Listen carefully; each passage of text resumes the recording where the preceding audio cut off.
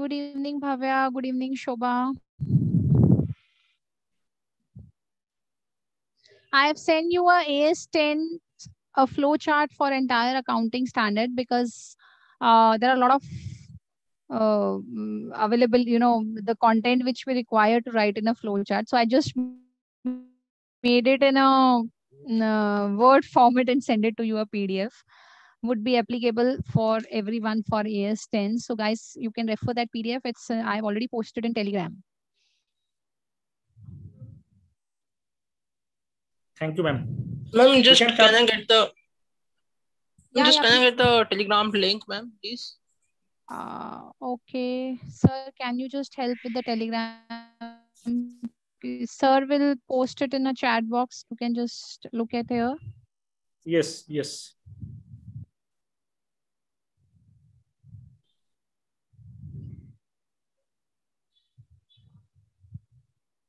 we are ready to start. Yeah uh, yeah shall i send you also youtube link?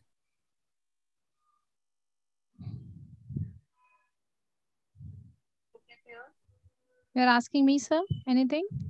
Yes yes. Okay. Yeah yeah sir bataiye kya kya shall i send you youtube link also? no no no i don't need it. Somebody else from here in a chat box needed. it. Yeah i am seeing youtube youtube. हाँ. Okay. Okay. Let's start. Shall we start, guys? Okay, I think somebody has written here about the IPCC. I'm not getting that chat box again. Where is it? Which years are applicable for old scheme? I think somebody has asked this question to me.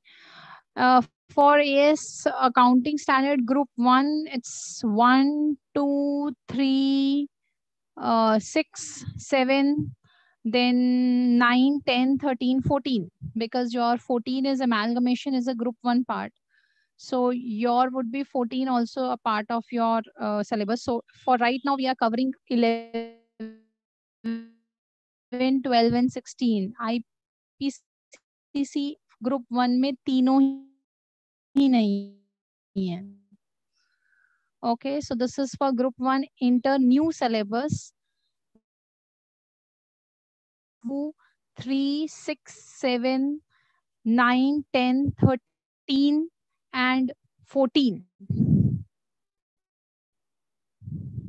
ठीक है?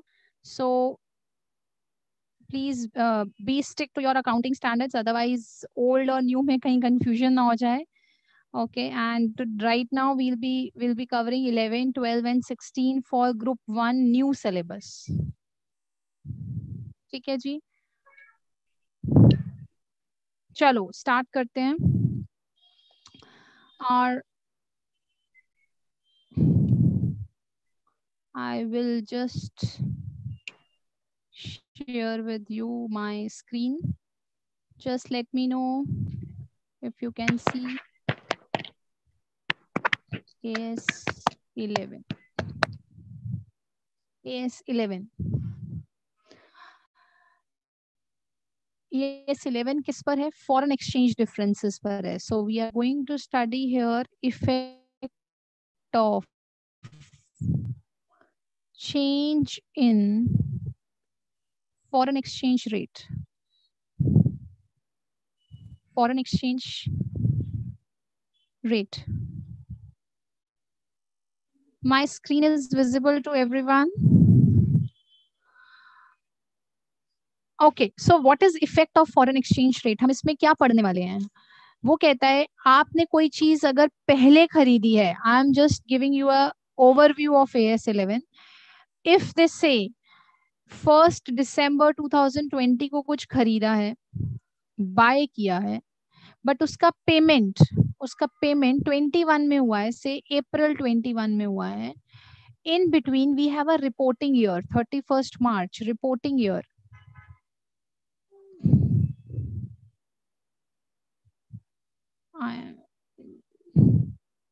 sir I am getting few you know. Okay, uh, somebody is asking me how many marks AS is applicable nowadays. Now in in the paper, it's uh, question number one, 15, uh, the question number one, which is compulsory, they are asking three to four questions. So ideally it is 20 to 25 marks for AS. Okay, so you cannot afford to, you know, uh, leave it. Okay so let's let me just say the S eleven S eleven हम लोग क्या पढ़ने वाले हैं? हम पढ़ने वाले हैं, हमने कोई फॉरेन करेंसी में कोई भी ट्रांजेक्शन किया है, जब ट्रांजेक्शन किया था और जब उसका रिपोर्ट हो रहा है और जब पेमेंट हो रहा है, तीनों में there is always a we know that the fluctuation in foreign currency keeps on moving हमने शायद जब खरीदा था तो वो one dollar may be is equal to seventy I N R when we are actually making a payment, it is 74 INR हमारे जो books बन रहे हैं, वो आईएनआर में बन रहे हैं. We are not making books in their foreign currency we are making a books in our local currency which is a domestic currency INR हमने जब खरीदा था तो 70 में खरीदा था, और जब पेमेंट कर रहे हो तो 74 में कर रहे हो. दोनों का डिफरेंस आएगा चार रुपए का. आप लेते हुए चार रुपया कम बुक कर रहे हो, और पैसा पे करते हुए चार रुपया ज़्यादा पे कर रहे हो. Effect of change A S eleven बोलता है, अगर उसके बीच में we got a thirty first March which is our end of financial year अगर हमारा बीच में एक ऐसा इवेंट रिपोर्टिंग इवेंट आ जाता है तो हम फॉरेन एक्सचेंज को कैसे बुक करेंगे?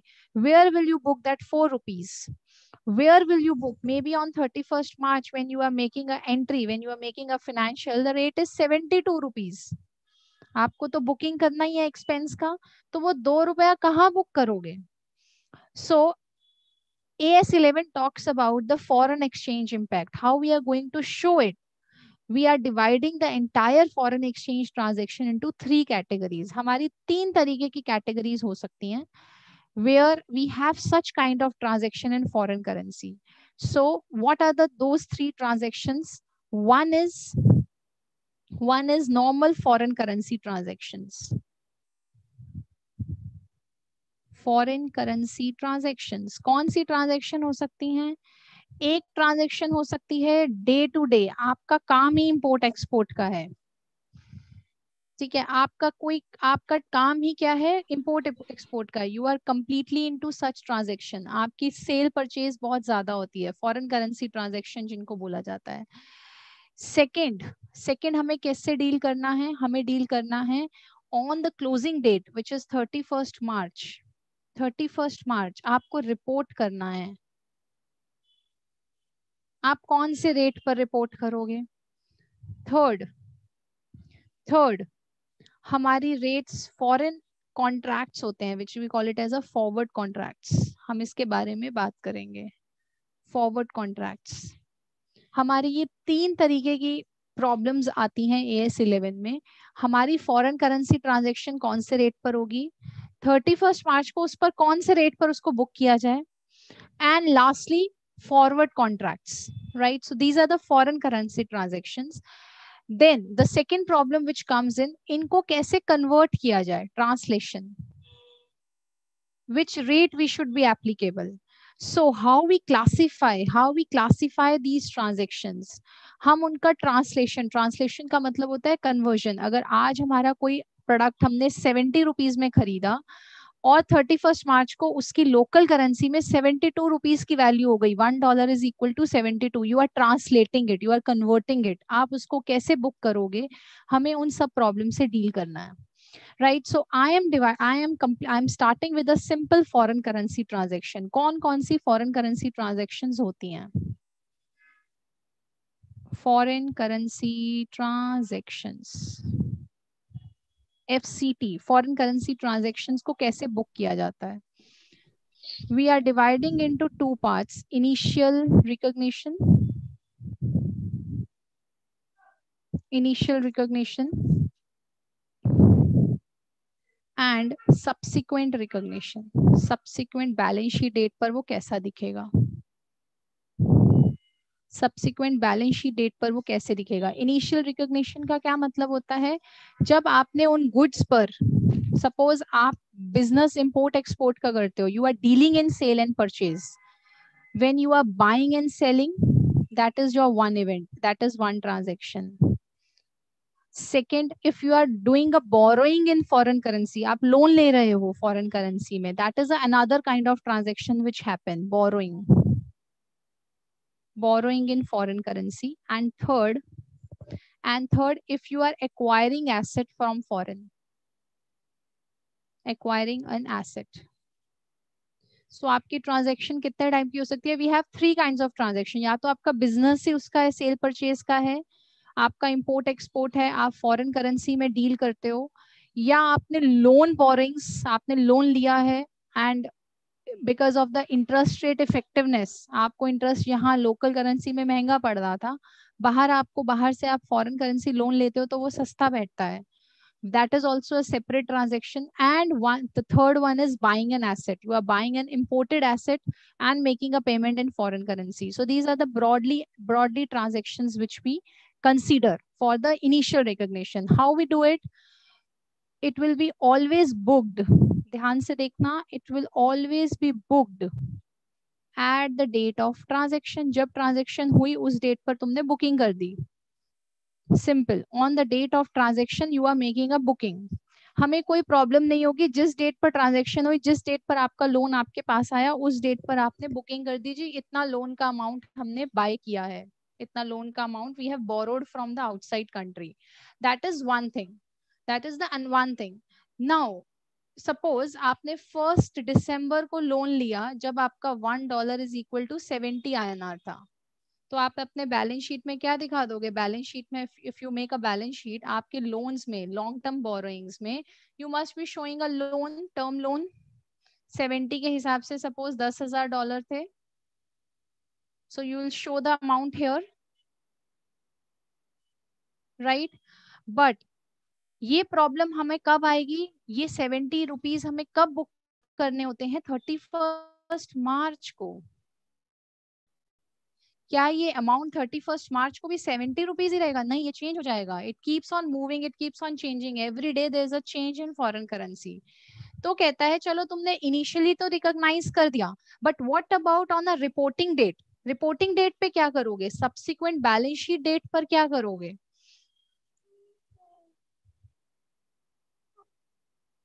so when we talk about a subsequent balance sheet date वो कहता है कि हम तुम्हें इसकी कैटेगरी बताते हैं how they they define it how they define it see I am dividing can somebody just take a um, to to admit the students because i'm getting a flicker many times in between can somebody just admit somebody's co-host here because i'm getting a lot of flickers in between so it's my board is getting disturbed because of that. Okay. Now, that means my AS11 deals with such foreign currency transactions.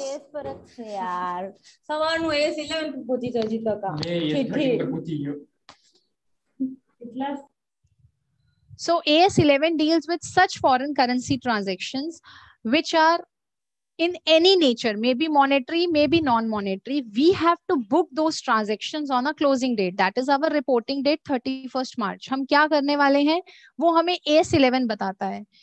So let let me just write. I am dividing into initial recognition.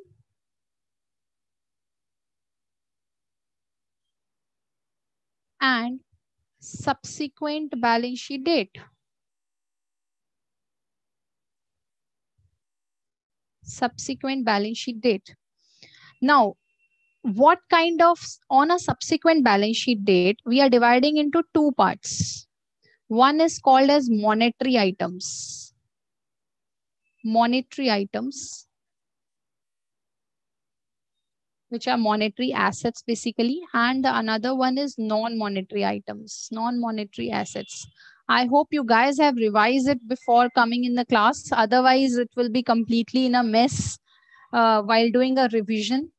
Okay, नहीं तो आपको कुछ समझ नहीं आएगा कि हम लोग ये किसकी बात कर रहे हैं. So I hope you guys have before class or anywhere before your exams, you have seen a glimpse of AS11, all the accounting standards, you did that. Okay, now हमारा इनिशियल रिकॉग्निशन बोलता है transaction date पे booking कर दो but subsequent balance sheet date thirty first March को हमें देखना पड़ेगा कि हमारी कौन सी आइटम है मॉनेटरी या नॉन मॉनेटरी मॉनेटरी आइटम्स कौन सी होती हैं which is determine an amount of money like receivables receivables like payables which can be converted which which is in a form of money only you need to pay or you need to receive that is a the, these are the examples of monetary non monetary items assets fixed assets जो आपने खरीदे हैं जो आपके in kind nature में हैं they are called as non monetary assets like fixed inventory fixed assets in investment and equity shares in their company आपने कोई investment किया है that is a non monetary asset ठीक है? So when we talk about monetary and non monetary वो कहता है reporting date पर। रिपोर्टिंग डेट पर आप इनको किस वैल्यू पर बुक करोगे? ए एस इलेवन हमें उसमें हेल्प करता है। ए एस इलेवन कहता है, अगर तो ये मॉनेटरी आइटम्स हैं तो इनको क्लोजिंग रेट पे ले लो। Closing rate means thirty first March को जो रेट चल रहा है, उसमें इसको कन्वर्ट कर दो। Right right? और नॉन मॉनेटरी एसेट्स को as it is historical cost पर कवर करो। हिस्टोरिकल कॉस्ट मतलब जितने पे खरीदा था, वही अमाउंट उसको एज इट इज़ लेते जाओ। और हमारी ट्रांजेक्शन डेट के ऊपर एक्सचेंज रेट लग जाएगा। एक्सचेंज रेट मतलब आपने फिक्स एसेट अगर सपोज़ सेवेंटी रुपीज़ के भाव पे खरीदा था तो उसको as it is non monetary asset में सेवेंटी रुपीज़ पर ही उसको बुक कर दो। You don't need to consider anything transaction date वाला ही कॉस्ट लिया जाएगा। This is what they talk about the subsequent recognition but उसकी वजह से क्या आएगा? एक्सचेंज डिफरेंस आएगा। कैसे? आपने जो चीज़ यहाँ पर सेवेंटी रुपीज़ में बुक की होगी क्लोजिंग रेट पर आप करने वाले हो तो सेवेंटी टू रुपीज़ हो गया सपोज़ तो दो रुपए का एक्सचेंज डिफरेंस आएगा। They say exchange difference may be a income और an expense may be a income और an expense to understand whether it's a income और वेदर इट्स एन एक्सपेंस हमें देखना पड़ेगा किस टाइप की ऑपरेशन हैं। How to book this exchange difference we have to see what kind of operation we are in two operation कैसे check करें? There is another testing operation कैसे check करें? We will see whether it's a integral foreign operation और is it a non integral foreign operations non integral foreign operations integral operations को हम बोलते हैं IFO and non integral foreign operations को बोलते हैं NFO NFO integral IFO and non integral NFO integral operations कौन से होते हैं? In which you are completely dealing into it it आपका मेन बिज़नेस ही वही है. जैसे आपके एचओ इंडिया में है और उसका ब्रांच फॉरेन में है. आपकी कोई subsidiary whereby you are carrying your business over there that is your integral part आपके बिज़नेस का वो मेन पार्ट है, आप उसमें डील कर रहे हो। नॉन इंटीग्रल क्या होते हैं? एसेट्स खरीदना, जिसमें आप डील नहीं कर रहे हो, आपका वो बिज़नेस नहीं है but you are doing operation transaction with them what kind of transaction may be you are raising money may be you you are buying an asset may be you are taking some facility for getting a loan or for getting the credit cash credit loan limits ले रहे हो. May be you are doing some investment in their company that is a non integral आपका business नहीं है but you are taking some transaction from foreign is it clear integral मतलब जिसमें business deal करता है where they have they are carrying the business and non integral mean they are not carrying any business they are just making some transaction by raising a money in foreign currency by buying an asset or by acquiring any investments in their equity. Okay, so we need to check which operations we are in. So we can we classify the operations into integral and non-integral part. Why we are why we are doing that? Because we need to understand where that exchange difference has to be booked. Exchange difference को कहाँ पे लेके जाएँ हमें नहीं मालूम वो कहता है हमें ये सब करने की क्यों ज़रूरत है क्योंकि बीच में रिपोर्टिंग इवेंट आ जाता है हमारी ट्रांजेक्शन और हमारी सेटलमेंट के बीच में थर्टी फ़र्स्ट मार्च आ जाता है। थर्टी फ़र्स्ट मार्च को हमें एक्सचेंज डिफरेंस को सेटल करना है। वो सेटल करने के लिए will see whether it's I F O और एन एफ़ ओ ठीक है now what is I F O I F O means where we have a complete carrying the business carrying the business right and non integral means we are arranging some money or we are investing. Arranging or investing? ठीक है, कैसे translate करेंगे? How we how we find the carrying difference वो कहता है, अगर तो आपका इंटीग्रल फॉरेन ऑपरेशंस हैं तो आपकी क्या होंगी? आपके सारे के सारे एसेट्स आपके एसेट्स एसेट्स की कॉस्ट और उसका डेप्रिसिएशन दोनों। डेट ऑफ़ परचेज पर ही कन्वर्ट होगा। You must be having a balances आपको फॉरेन करेंसी में बैलेंसेस आएँगे कि आपके वहाँ पर कितने डेटर्स हैं, कितने क्रेडिटर्स हैं, कितनी सेल्स हुई, कितने परचेजेस हुए, वो सारी एंट्रीज आएँगी। वो कहता है, जितने भी एसेट्स हैं, वो assets as it is date of purchase पे ले लो। और डेप्रिसिएशन का भी रेट कन्वर्ट कर दो परचेज मर that is one thing second आपके पास जो इन्वेंट्री पड़ी है स्टॉक स्टॉक पड़ा है, और you have various other assets जिनके ऊपर आपका रियलाइजेबल वैल्यू होगा नेट रियलाइजेबल वैल्यू होगा। Basically they are they are dividing all the expenses they are dividing all the expenses in which rate it has to be taken care of तो अगर तो ये integral foreign operations हैं तो वहाँ पर कौन से रेट लगेंगे? वो कहता है जितनी भी इन्वेंट्री है I I I make a small table to make you understand firstly I make it for integral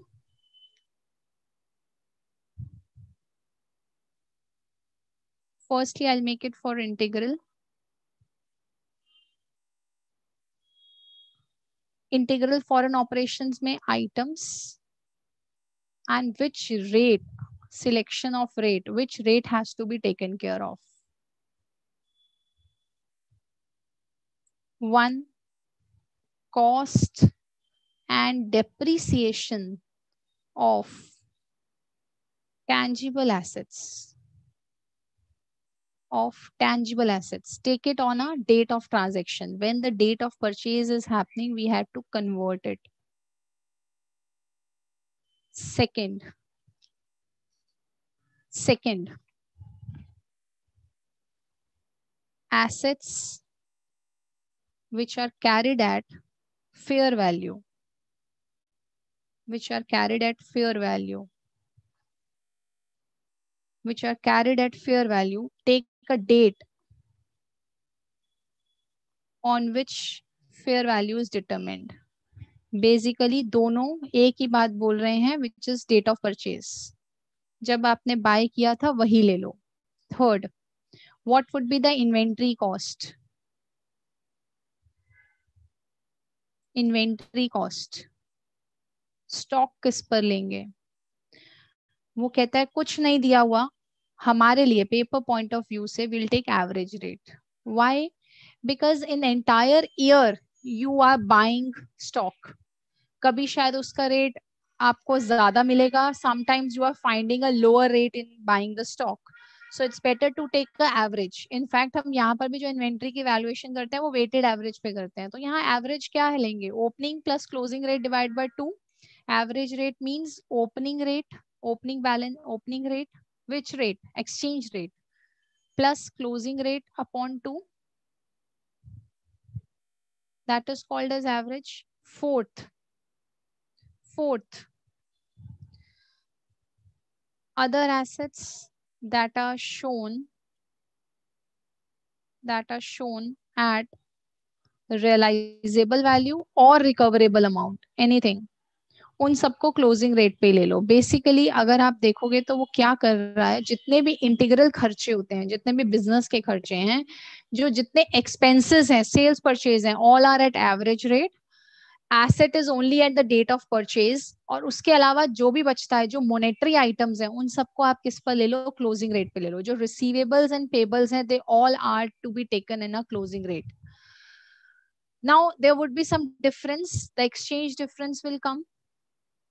That exchange difference as it is a part of a business तो एक्सचेंज डिफरेंस को कहाँ पर डाल दो? Recognise in P and L recognise in P and L account हमारे business का ये लेना देना ऊपर नीचे चलता रहेगा और एक्सचेंज बिज़नेस का जितना भी ऊपर नीचे प्रॉफिट लॉसेस कहा जाते हैं? P so they say if we are going to settle all the monetary items okay and if we are going to do any any recognition of income and expenses in the same way we have to recognize all monetary items and non-monetary items and exchange difference will be recognized in p and l only integral में हमारा P and L ही हमें साथ देगा, क्योंकि वहीं पर हमारे इनकम और लॉसेस हम लोग क्या करते हैं बुक करते हैं। We don't need to open any reserve any account nothing आपने जो चीज़ सपोज़ सेवेंटी टू में अगर आपने बुक की थी सेवेंटी टू रुपीज़ में कभी साल के बीच में बुक की थी, और अभी आप उसको सेवेंटी फोर पे बुक कर रहे हो on a thirty first March reporting date पर so this two rupees is a loss exchange difference debit seventy two की चीज़ सेवेंटी फोर में हो गई you have to debit it in P and L account so exchange difference in case of integral operation will be recognise in P and L account this is integral part coming to a non integral for operation non integral में वो कहता है, आपका part नहीं है। अगर इसका मतलब आपने अगर लोन लिया है या आपने अगर एसेट लिया है that means they are balance sheet items both are balance sheet items आपका पी एंड एल से कोई लेना देना ही नहीं है because you are not in to associated with that business इसका मतलब हमारा कौन सी चीज़ हिलनी चाहिए? सबसे इंपॉर्टेंट है रिज़र्व कुछ भी रहता है रिज़र्व में डाल दो। कौन सा reserve so now I am talking about non integral foreign operation non-integral foreign operations. Here also, I'm making in the same small table, non-integral के लिए. नॉन इंटीग्रल में ऑल एसेट्स एंड लाइबिलिटीज बड़ा simple है इसका concept assets and liabilities चाहे वो monetary हो, चाहे नॉन मॉनेटरी हो put it in a closing rate सबको क्लोजिंग रेट पे डाल दो. सिंपल और जितने भी इनकम एंड एक्सपेंसेस हैं, जितने भी इनकम एंड एक्सपेंसेस हैं put it on average rate put it on average rate so balance sheet के assets and liabilities closing rate income and expenses P and L item will be on average rate there would be exchange difference exchange difference वो कहता है, अभी तुम्हारा ये business का part नहीं है. This is not a main operation of your business. So you cannot hit P&L. Exchange difference will go to which whatever accumulation is coming in an exchange difference account, it will show it in foreign currency translation reserve, जिसको बोलते हैं FCTR, foreign currency translation reserve. I'll come on that again because we have some now another reserve, monetary reserve. उस पर आते हैं अभी पहले हम बात करते हैं इंटीग्रल का जो एक्सचेंज डिफरेंस रहता है it will be recognise in P and L और नॉन इंटीग्रल फॉरेन ऑपरेशन का जो एक्सचेंज डिफरेंस रहता है it will go to F C T R which is foreign currency translation reserve यहाँ तक बात समझ में आई? एवरी वन आगे बढ़ू? Any doubt guy still here या Can I ask something? Uh, I cannot hear you, Kapil. Hello am I available या या मैम ये जो लास्ट में रेट आएगा। या ये किन के कंपैरिजन डिफरेंस निकालेंगे जब आपने सपोज़ एसेट खरीदा ठीक है हम विल डू दिस क्वेश्चन आपने एक एसेट खरीदा वन डॉलर जब हमारा चल रहा था सपोज़ सेवेंटी टू जब आप उसको क्लोजिंग रेट पर मतलब थर्टी फ़र्स्ट मार्च को जब बुक कर बुक कर रहे हो तो one dollar is equal to suppose चल रहा है सेवेंटी फोर एसेट चेंज हो जाएगा ना एक्सचेंज डिफरेंस आपका सपोज़ आपने हज़ार डॉलर का वो एसेट खरीदा था। आपने वो बुकिंग किया हुआ है सेवेंटी टू थाउज़ेंड का but now the value has been change to seventy four thousand change हो गया, आपकी एसेट की वैल्यू बढ़ गई, वो कहता है, जो भी आपका चेंज हो रहा है एसेट की वैल्यू तो आप बढ़ा रहे हो बट साथ में आप रिज़र्व दिखाओ which is F C T R क्योंकि इस एसेट का डिफरेंस रिज़र्व बढ़ने का रीजन क्या है? एक्सचेंज डिफरेंस रीजन है और वो एक्सचेंज डिफरेंस आप कहाँ पार्क करोगे? रिज़र्व में पार्क करोगे। ठीक है? What are you saying I didn't get it no yes what is no and yes Deep integral two point please revise which two point dear can you just unmute and tell me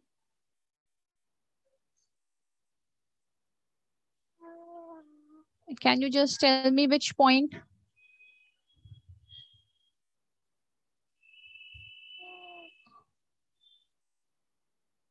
You are talking about which second point, integral or non-integral? I didn't get your point. Can you please unmute it and tell? Integral. Okay, integral. So I'll go to previous slide. Integral बताना है आपको? बताइए। ये second point assets carried at fair value you are saying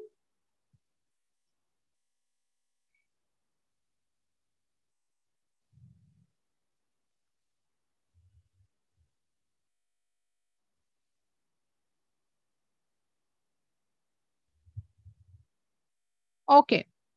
See when we when we have a assets tangible assets हम लोग क्या बात कर रहे हैं? हमने सबसे पहले नॉर्मल एक इनिशियल रिकॉग्निशन देखा। सब्सिक्वेंट बैलेंस शीट डेट पर हम रिकॉग्नाइज करते हैं on a basis of monetary and non monetary items ठीक है?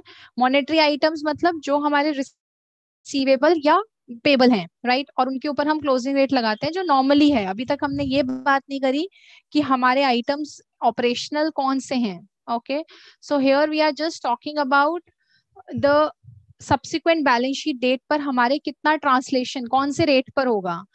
I have talked about that whatever exchange difference is coming in we may arise AS eleven बोलता है, उसको इनकम या एक्सपेंस में दिखा दो। कैसे दिखा दो? We have to see whether it's an integral operation or non-integral. I am talking about now integral operation. हमारे जितने भी एजेंट्स या ब्रांचेस सब्सिडरीज जो भी काम कर रही हैं, उनको हमारे, उन्होंने हमें अपने फिनेंशियल स्टेटमेंट्स भेजे होंगे। फिनेंशियल स्टेटमेंट्स को क्या करना है? अपने बुक्स में हमें कंसोलिडेट मतलब वहाँ पर एंट्रीज करनी है। हमारे पास जो रेट्स दिए होंगे, हमारे पास जो वहाँ के इन्फॉर्मेशन आई होगी, वो उनके फॉरेन करेंसी में होगी। That is their foreign currency we have to convert it into our local currency which currency which rate we will book it वो कहता है, अगर तो सिंपल टैंजिबल एसेट्स हैं, उनको सबको डेट ऑफ़ परचेज पे ले दो फ़र्स्ट थिंग सेकेंड हमारे जितने भी एसेट्स फेयर वैल्यू पे कैरी फॉरवर्ड है। फेयर वैल्यू मतलब कौन से एसेट्स हमारे फेयर वैल्यू पे कवर्ड होते हैं? वो कहता है, जितने भी ऑलरेडी जो बाय होंगे ना, पहले के जो बॉट होंगे, वो आपने अभी जो पिछले चलते हुए आ रहे हैं, उसी की रेट पर हम लोग वही ले लेंगे सेम रेट पर ले लेंगे जो हमारा रेट चलता आ रहा था। We will not make any change cost and depreciation of tangible asset मतलब जब खरीदे थे, शायद साल के बीच में कुछ खरीदा हो। ठीक है? But when you have the the assets which is carried at fair value मतलब पहले से जो फेयर वैल्यू पे चलते आ रहे हैं कैरी फॉरवर्ड उनको उसी फेयर वैल्यू पे डिटरमिन कर दो। You don't need to change it ठीक है? Then inventories inventories are always at average rate ठीक है? और जो रियलाइजेबल वैल्यू या रिकवरेबल वैल्यू पर एसेट्स हैं, उनको क्लोजिंग रेट पे ले लो।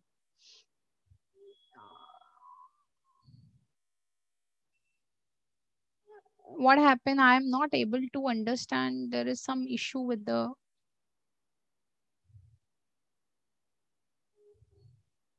just a second guys. There is some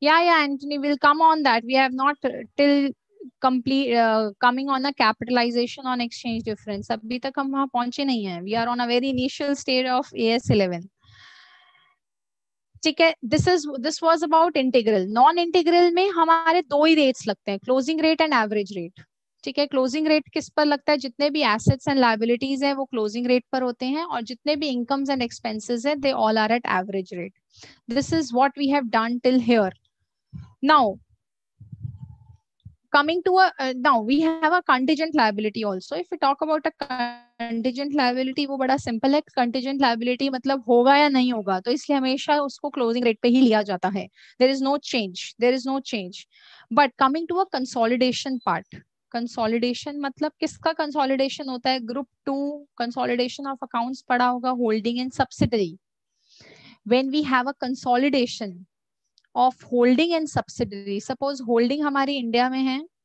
और सब्सिडरी सिंगापुर में है। आपके सिंगापुर के जो बुक्स हैं वो इंडिया में क्या होंगे? कंसोलिडेट होंगे। और आपको ध्यान होगा, हम कंसोलिडेशन में क्या बनाते हैं? कॉस्ट ऑफ़ कंट्रोल बनाते हैं where you calculate a goodwill और सीआर याद है थोड़ा थोड़ा cost of control. We prepare a cost of control, whereby we say if goodwill is when? When you have paid more and cr is when? When you have holding more value of investment is less and your total acquisitions are more then will come on a cr basis so when we have a goodwill or cr how we treat that वो कहता है अगर कुछ भी निकलता है ना तो उसको क्लोजिंग रेट पे ले लो उसको क्लोजिंग रेट पर ही करना होगा कंसोलिडेशन प्रोसीजर किस पर वर्क करता है सब्सिडरीज एसोसिएट्स उन सब पर अप्लाई होता है right when we do the consolidation so whatever the exchange differences are coming due to these monetary items integral operations में या consolidation non integral operations में भी हो रहा है वो कहता है हम लोगों को recognize करना पड़ेगा so whatever you are getting while consol what is the procedure of consolidation i'll just quickly see हमारा नॉर्मल कंसोलिडेशन किसका होता है सब्सिडरीज का होता है एसोसिएट्स और जेवीज जॉइंट वेंचर्स ठीक है? हमारे जितने भी एक्सचेंज डिफरेंसेस मॉनेटरी आइटम्स के आ रहे हैं? मॉनेटरी आइटम्स के exchange differences EDs okay in relation to integral operations in relation to integral operations वो कहता है, उन सबको रिकॉग्नाइज करो। किसमें हमें मालूम है एक्सचेंज डिफरेंस इंटीग्रल ऑपरेशन में कहा होता है? Recognise in P and L recognise in P and L account and consolidation में कब प्रॉब्लम आती है non integral basis non integral में कहता है, अगर कोई भी डिफरेंस आता है तो उसको भी एफ़ में ही लेके जाओ। Why such why such kind of movement is required? Because if exchange rate movements are significant, अगर आपको बहुत ज़्यादा डेट्स में सिग्निफिकेंस मालूम चल रहा है तो वो कहता है क्लोजिंग रेट पे लो। हमें क्लोजिंग रेट पर कैलकुलेशन करना पड़ेगा। क्लोजिंग रेट पे करोगे तो ऑटोमेटिकली एक्सचेंज डिफरेंस आएगा। राइट सो कंसोलिडेशन में जो भी आपने अमाउंट्स लिए होंगे suppose seventy seventy two seventy four seventy five इस तरह के बुकिंग्स हुई होंगी। बट क्लोजिंग रेट अगर 76 पर है तो ऑब्वियसली ये सारी एंट्रीज का एक्सचेंज डिफरेंस यहाँ पर कहाँ बुक हो जाएगा? एफ़ में which is foreign exchange translation reserve में।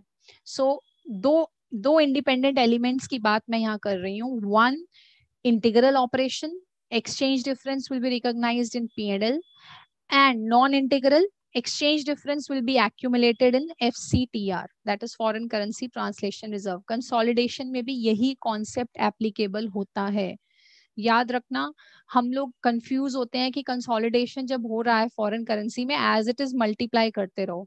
If you if you if you remember branch accounts if you remember branch accounts will will talk about it branch accounts में हम हमेशा पहले ट्रायल बैलेंस जो हमारा इंडिपेंडेंट ब्रांचेस में manage करता है, उन सबको क्या करते हैं? पहले कन्वर्ट करते हैं। We convert into to I N R if we get some difference we park it in P N L account और we do it in F C T R which is a exchange difference account Same here same with with the with the AS 11 वो बातें हम कहाँ से सीख रहे हैं we are getting it from AS 11 itself which says that whatever exchange difference is coming in either we recognize in P&L if it is an integral operation and if it is a non-integral operation while consolidating we have to do it in FCTR only. Okay, that is one thing. So translation when translation of non-integral foreign operations work, always remember we work on a two rates, average rate and closing rate. ठीक है आगे बढ़े now how how the in, in integrates how you come to know foreign operations को देखकर कि whether it's a non integral or you should go for a non-integral rather than integral. So what are the indicators? आपको कैसे मालूम चलता है? What are the indications which says that foreign operation is a non-integral rather than integral? कैसे मालूम चलता है? There are few indicators. First indicator we talk about control. Control. Control. Why control? If we have a significant control on the foreign operations control कैसे मतलब आपने decision maker voting powers आपके पास हैं, इसका मतलब आप फॉरेन ऑपरेशंस आपका इंटीग्रल माना जाएगा। सेकंड ट्रांजेक्शंस ट्रांजेक्शंस मतलब आपकी जो ट्रांजेक्शंस रेगुलर ट्रांजेक्शंस हैं, वो ज़्यादा हैं। फॉरेन ऑपरेशनल एक्टिविटी से ज़्यादा हैं। मतलब डे टू डे ट्रांजेक्शन बहुत ज़्यादा है तो उनको इंटीग्रल माना जाता है। थर्ड फाइनेंस आपका फाइनेंस मेनली मेन कंपनी से ही टारगेट है फिनेंस्ड है राइट right? आपके यहीं से सारा पैसा होकर वो कंपनी चल रही है या वो ब्रांच चल रही है सब्सिडरी चल रही है that means it's integral operation right sales आपकी सेल्स परचेज बहुत ज़्यादा है। ठीक है? And we can see local sales market local sale market मतलब आपके एफओस का प्रोडक्ट जो आपके आपका फॉरेन ऑपरेशन का जो प्रोडक्ट है वो बहुत ज़्यादा एक्टिव है लोकल मार्केट में बहुत ज़्यादा डिमांड है तो you can say it's a integral foreign operation rather than non-integral so with these indicators uh, we you will be able to understand whether it's a integral and non-integral आपको इतना worry करने की ज़रूरत नहीं है because आपके case में बहुत जो हमें क्वेश्चंस आते हैं उसमें आपको क्वेश्चन पढ़ते हुए ही पता चल जाएगा कि whether it's in a sale and purchase of a regular nature या कोई बिल्डिंग मतलब कोई मशीनरी बाय की है या कोई प्रोजेक्ट के लिए कुछ का, कुछ काम आ रहा है वहाँ से so that becomes it is a non integral part ठीक है? सो रिपोर्टिंग एंटरप्राइज जिसकी हम बात कर रहे हैं they will determine whether the operations we are handling is a integral और नॉन इंटीग्रल ये बहुत बड़ा इंपॉर्टेंट पॉइंट है। उसी के बेसिस पे आपको पता चलेगा कि पी एंड एल में रिकॉग्नाइज करना है या एफ़ सी टी आर खोलना है। ठीक है? Now next one comes classification there may be a change what change जो पहले इंटीग्रल था now it becomes it it is becoming a non integral आपने बिज़नेस ही चेंज कर दिया. Now you are no more with that business तो आपका वो नेचर ट्रांजेक्शन का ऑटोमेटिकली इंटीग्रल से नॉन इंटीग्रल में कवर हो जाएगा. और there may be event where you say हमारा पहले नॉन इंटीग्रल था, अभी इंटीग्रल हो गया. So the operation may change in any year it may go from I F to N F और N F to I F तो वो कहता है, क्या अकाउंटिंग प्रोसीजर होगा दोनों में? What would be the accounting procedure what would be the accounting procedure how you see that क्योंकि हमारे इंटीग्रल इंटीग्रल का एक्सचेंज डिफरेंस पड़ा होगा। इंटीग्रल में तो हम एक्सचेंज डिफरेंस मॉनेटरी एसेट का क्या करते हैं? हम सारा का सारा पी एंड एल में रिकॉग्नाइज कर देते हैं। तो वो कहता है रिपोर्टिंग डेट पे थर्टी फ़र्स्ट मार्च को आपका जितना भी एक्सचेंज डिफरेंस पड़ा होगा नॉन इंटीग्रल का ट्रीटमेंट दे दो। नॉन इंटीग्रल मतलब जितना भी आपका ईडी e है एक्सचेंज डिफरेंस है, उसको सब कहाँ डाल दो? एफ़ सी टी आर में डाल दो। Foreign currency translation reserve why because you are reclassifying the operation from integral to non integral और नॉन इंटीग्रल में एक्सचेंज डिफरेंस कहा जाता है? एफ़ सी टी आर में जाता है। So that's why we have to convert we have to put every exchange difference in F C T R itself that is one part second non-integral to integral if the amounts if the amounts are treat if the amount suppose i'm dividing into two parts if it is a non-monetary asset non-monetary items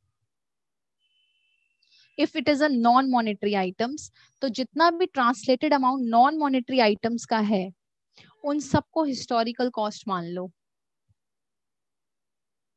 उन सबको cost मान लो non integral to integral आपने जितना भी पैसा होगा exchange difference का, वो कहाँ डालता है नॉन इंटीग्रल का एफसीटीआर में।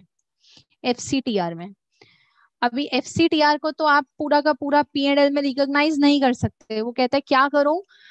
नॉन मॉनेटरी आइटम्स जितने भी एसेट्स थे फिक्स्ड एसेट्स थे, उन सबकी हिस्टोरिकल कॉस्ट ही वही बना दो। मतलब उतने से कॉस्ट बढ़ा दो। पूरा का पूरा रिज़र्व तो खाली करना पड़ेगा। You don't have F C T R now because non integral से इंटीग्रल पे जा रहे हो। तो पूरी की पूरी चेंज जो आपका डेट ऑफ़ चेंज जिस दिन चेंज हो रहा है रिपोर्टिंग डेट पर, उस पर सारा का सारा नॉन मॉनेटरी आइटम्स का कॉस्ट हिस्टोरिकल कॉस्ट पे ले लो। Don't worry we'll do all the questions on this मैं A S eleven twelve and sixteen maybe takes time but eleven में बहुत कंफ्यूजन होती है। ए सिक्सटीन में एक आरटीपी में क्वेश्चन आया है which is a combination of sixteen and eleven maybe somebody has solve it but we are going to do that here I have taken into this my document because RTP में जितने भी question होते हैं they all are very very excellent question worth to solve it okay so non integral से integral पे जा रहा है तो मतलब exchange difference F C T R में जाता था। अब एफ़ में नहीं जा सकता। तो वो कहता है, जितना भी नॉन मॉनिटरी आइटम्स का ट्रांसलेटेड अमाउंट है on the date of change treat it as a historical cost of asset उसको एसेट की कॉस्ट बना दो। एंड सब्सिक्वेंट पीरियड में भी वो कॉस्ट ही रहेगी same and because why because exchange difference cannot be treated as income and expense until disposal of investment जब तक आप उसको बेच नहीं देते हो जब तक आप उसको बेचोगे नहीं वो exchange difference आप recognize नहीं कर सकते हो फिर तो आपका normal profit and loss जब भी आप sale करोगे आप रिकॉग्नाइज कर लोगे until the disposal which which is like a profit on sale of asset or loss on sale of asset जब तक वो इंटीग्रल है। क्यों? क्योंकि वो आपका मेन एसेट बन गया और मेन एसेट मतलब बिज़नेस में यूज़ हो रहा है। So all the non monetary items has to be there और मॉनेटरी आइटम्स की तो हमको कोई प्रॉब्लम ही नहीं थी क्योंकि वो ऑलरेडी क्लोजिंग रेट पर ही लेते हैं। रिसीवेबल्स एंड पेबल्स हम क्लोजिंग रेट पे लेते हैं। प्रॉब्लम आती है एवरेज रेट में। और एवरेज रेट के लिए हमने क्या ले लिया? हिस्टोरिकल कॉस्ट ले लिया। So F C T R will no more because integral operation बन गए। और जब इंटीग्रल टू नॉन इंटीग्रल हो रहे थे so we have we have transferred all the exchange difference into FCTR तो रिज़र्व क्रिएट किया था। Is it clear so foreign exchange rate में it may happen the classification the classification is that integral to non integral जाता है तो we accumulate all exchange difference amount into FCTR and if it goes from non integral to integral monetary items on the date of change treated as a historical cost और बाकी exchange difference जो है, जब तक investment बिकेगी नहीं, तब तक हम उसको रिकॉग्नाइज नहीं कर सकते। You can not recognise it unless and until it is been dispose of completely clear guys still here everyone shall i move ahead? Okay. That this was the second part हमने दो बात बा, बातें पढ़ी। एक हमने पढ़ा फॉरेन करेंसी ऑपरेशन सेकेंड हमने पढ़ा उसकी रिपोर्टिंग रिपोर्टिंग डेट पर ट्रांसलेशन कैसे करते हैं। मैंने ए एस इलेवन को तीन पार्ट्स में डिवाइड किया था। तीन पार्ट्स में क्या क्या डिवाइड किया था? I have written the three parts one is the foreign currency transaction reporting पर क्या करेंगे? हम लोग देखेंगे whether it's I F O और N I F O which is non integral and integral and we apply the same concept coming to a forward contract आजकल institute का ये फेवरेट बना हुआ है forward contract what is forward exchange contract anybody can just tell me quickly what is forward contract anyone can just somebody unmute and tell me what is forward contracts अरे जल्दी बोलो अगले हफ़्ते एग्ज़ाम्स हैं foreign exchange contracts क्या होते हैं foreign contracts if you don't know please tell me in a i'll i'll i'll say i'll tell you in a detail because i expect कि ये पाँच नंबर या सात नंबर में they may ask so if you uh, you understand what is Ma'am, these contracts are entered today but uh, which are going to be completed on future date that's correct that's correct absolutely right foreign exchange contracts are the forward contracts anybody who doesn't know about forward contracts forwards kaise kaam karte hain anyone anyone guys अरे बता दो कोई बात नहीं it's okay you can write it in a chat box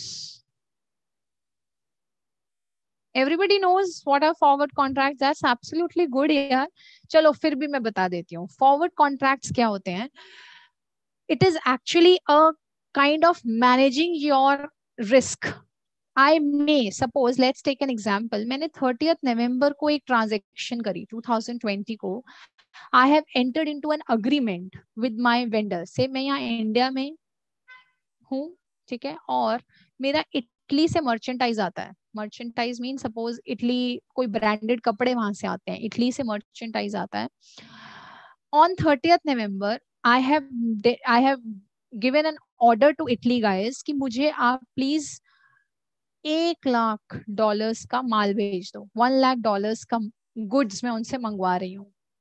उन्होंने कहा, ठीक है, हम आपको भेजते हैं। उस दिन रेट सपोज़ चल रहा था seventy four I N R one dollar is equal to seventy four उस दिन खाली मैंने उनको ऑर्डर प्लेस किया है। Do we do entry when we place an order no we do an entry when we actually receive the goods GRN जब उनका बन जाता है गुड्स रिसीट नोट जब हमारे पास इनवॉइस आ जाता है या गुड्स आ जाते हैं, हम उनकी बुकिंग कर देते हैं। चलो, ठीक है, हमारे पास टेंथ दिसंबर 2020 को गुड्स रिसीव हो गए। गुड्स रिसीव हो गए। जब गुड्स रिसीव हुए होंगे और टेन वन लाख डॉलर्स के गुड्स रिसीव हुए और साथ में इनवॉइस भी आया कि please within five months you have to pay the money you have to pay the money so tenth दिसंबर से मेरे को पाँच महीना मतलब मई मई में मुझे उनको पैसा देना है मई इक्कीस। I have to pay them ठीक है? On the date when I have received the received the goods, the rate, the exchange rate was suppose 75 INR. I'll make the booking. मैं परचेज की बुकिंग कर दूँगी। परचेज की entry बोलो जल्दी। Any one purchases की एंट्री क्या होती है? परचेजेस अकाउंट डेबिट मतलब stock account debit Purchase account debited to cash oblique creditors. creditors because i'm not making any payment to italy guys i'll make the payment later 1 lakh into 75 मैंने 75 lakh के purchases book कर दिए but what happens that after five months i am expecting ये price तो बहुत आगे जाएगा it may touch 82 मतलब मई 21 को जब मैं इस एक लाख डॉलर का पेमेंट करूँगी तो मेरे बैंक अकाउंट में से कितना डेबिट होगा?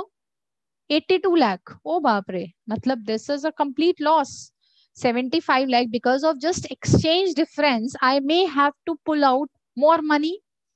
Right? मुझे ज़्यादा पैसा सात लाख रुपए ज़्यादा देना पड़ेगा. We are we are a good business man we are a chartered accountant क्यों पैसा ज़्यादा देना? बैंक के पास जाओ बैंक को बोलो सर मुझे लगता है प्राइस बढ़ेगा। आप मेरे साथ एक अग्रीमेंट कर दो। मुझे मे ट्वेंटी वन को इटली पेमेंट करना है। आप मेरा आज का ही रेट बुक कर दो।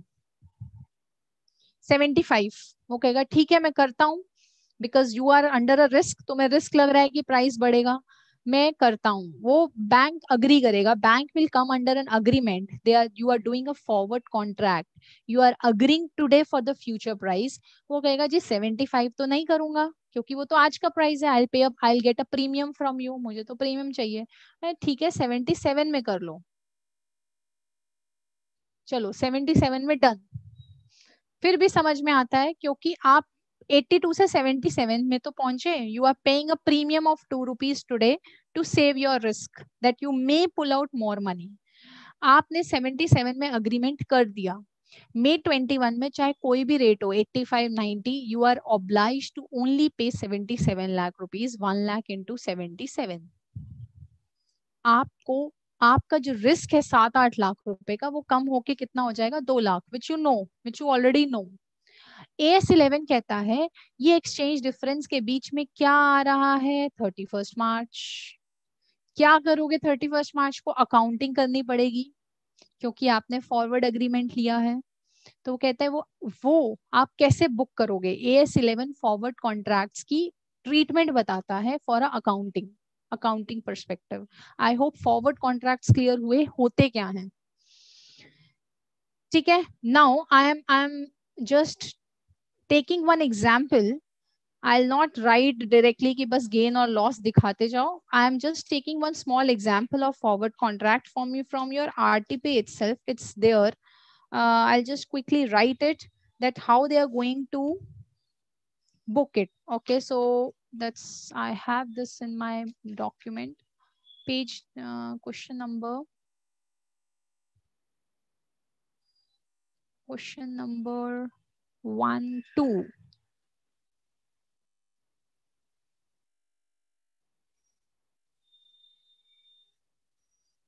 I will just take it on a board itself.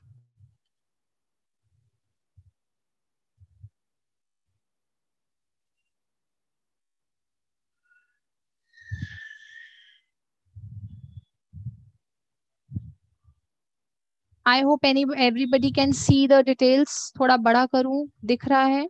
Is it okay guys every one is it okay power track दिख रहा है? क्वेश्चन दिख रहा है every one okay so let's let's just solve this they are saying power track purchase the plant for rupees fifty thousand dollar on thirty first October two thousand eighteen payable after six months October 18 को खरीदा है payable after six months the company entered into a forward contract for six months at 64.25 आपने खरीदा कितने का है?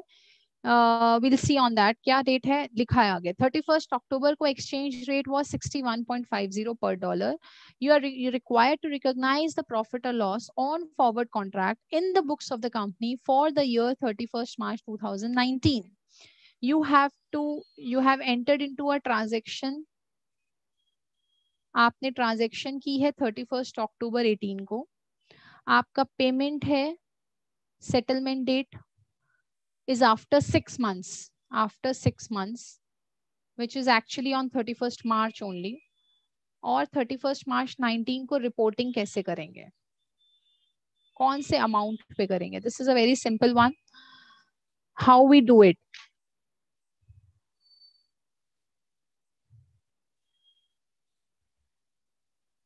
let's see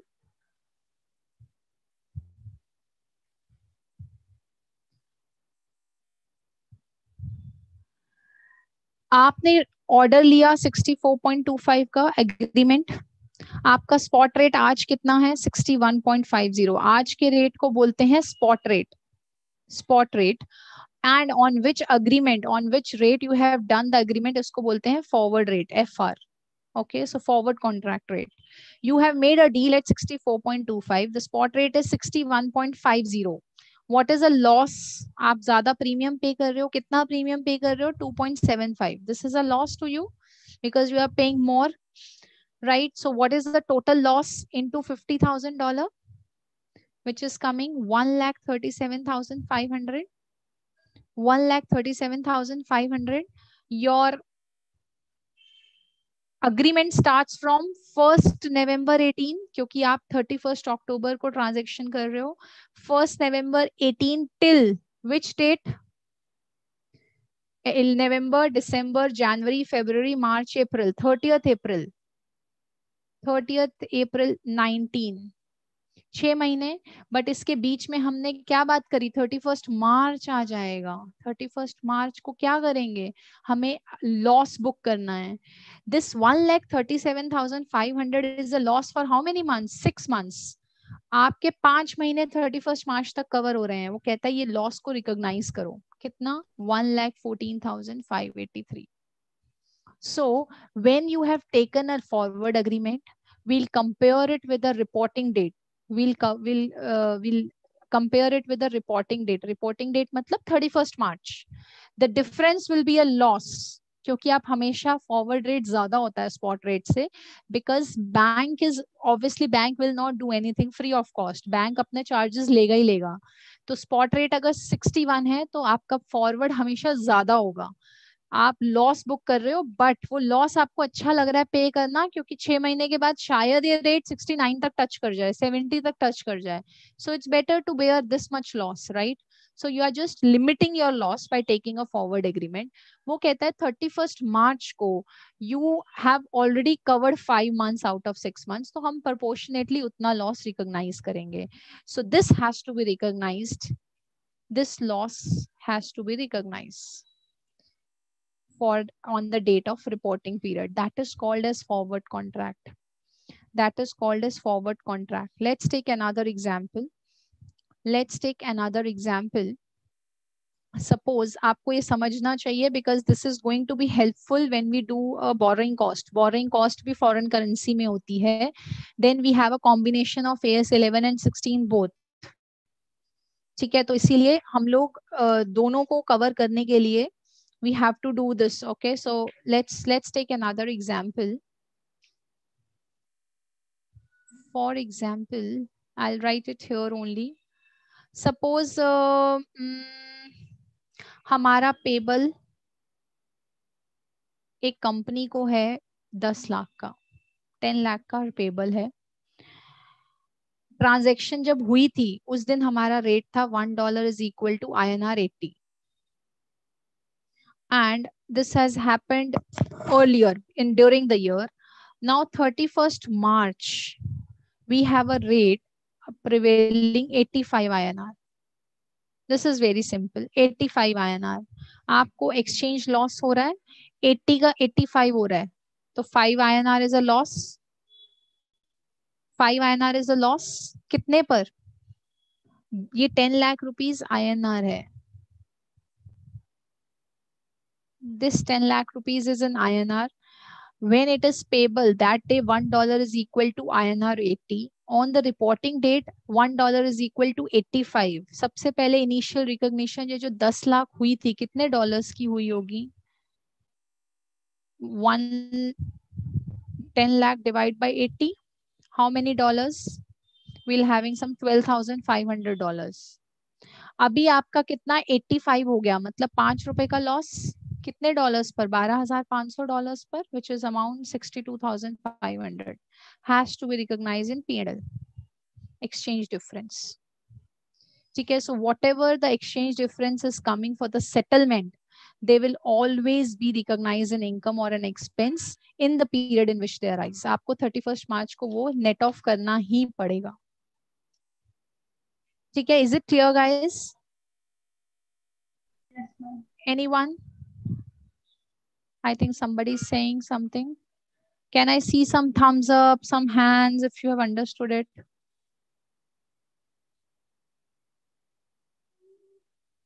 yeah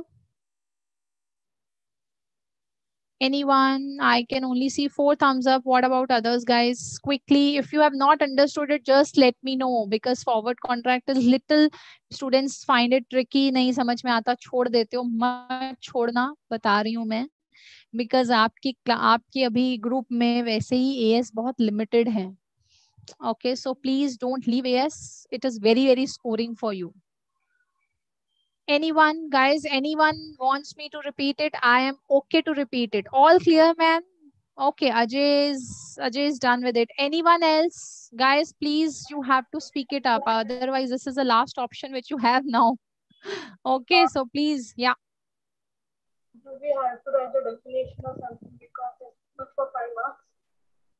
i cannot hear your voice dear it's very very very light Ma'am, we have to do only this much for five marks.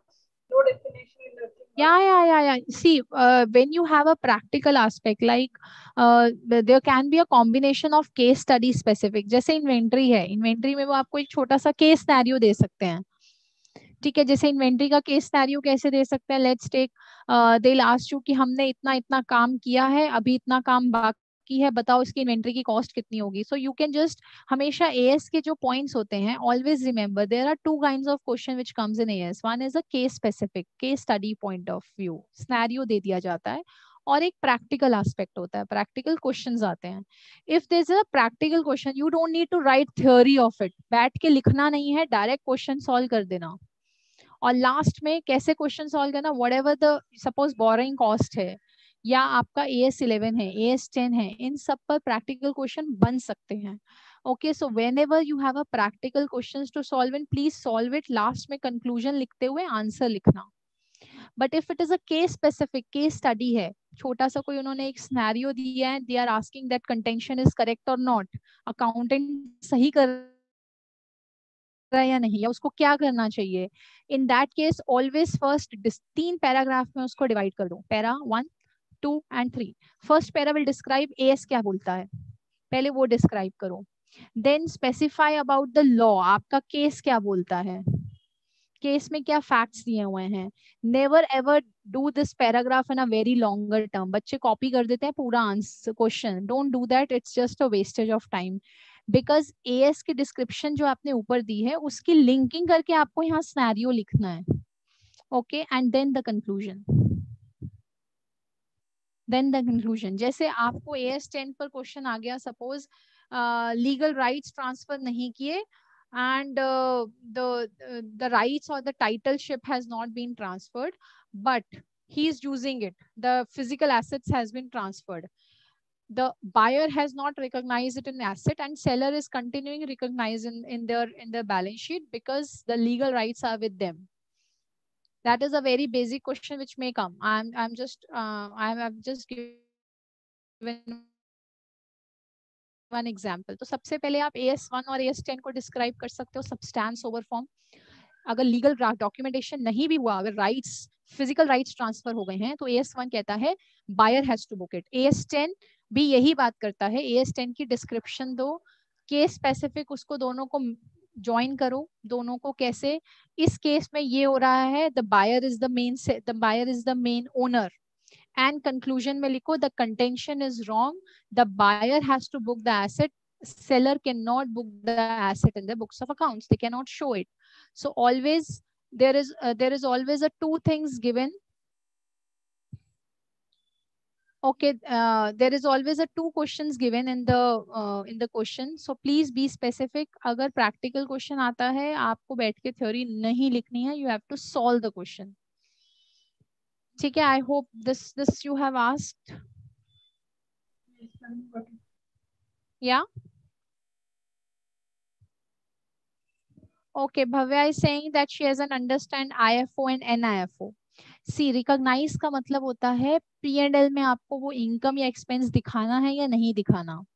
अगर suppose आप किसी business में deal करती हैं sale and purchase import and export आपका main business वो है। आपके ऑपरेशंस वहाँ डील करते हैं। That is called as integral foreign operations but if you are not dealing in a business and you are just making some transaction in foreign currency जैसे मैंने example दिया loan borrow करना foreign currency में, या asset buy करना in foreign currency that's a non integral foreign operation integral का क्या मतलब होता है? बिल्कुल कोर नॉन इंटीग्रल मतलब आपका मेन बिज़नेस वो नहीं है. So recognise what you by recognition recognition हम किसका करते हैं? इनकम और एक्सपेंस का करते हैं. We recognise in P and L okay P and L में जब हम वर्ड रिकॉग्नाइज यूज़ करते हैं रिकॉग्नाइज का मतलब होता है पी एंड एल में रिकॉग्नाइज करना। इंटीग्रल फॉरेन ऑपरेशन से जितना भी एक्सचेंज डिफरेंस आता है it has to be debited और credited in P and L account मतलब एक्सचेंज डिफरेंस से अगर लॉस होता है if exchange difference loss will come in तो वो कहा जाएगा? पी एंड एल के debit side to exchange difference और अगर एक्सचेंज डिफरेंस गेन आता है तो वो credit side by exchange difference this is integral non integral कहता है, आपका ये बिज़नेस है ही नहीं, और पी एंड एल में तो बिज़नेस आइटम्स आती हैं। So we can not recognise exchange difference in P and L in non integral part we will show it in F C T R which is foreign currency translation reserve में उसको दिखाया जाएगा। ठीक है that is N F O we call it as N F O ठीक है? Then disclosure disclosures disclosure में क्या आता है last part of AS11 disclosures firstly what is the exchange difference amount what is the exchange difference amount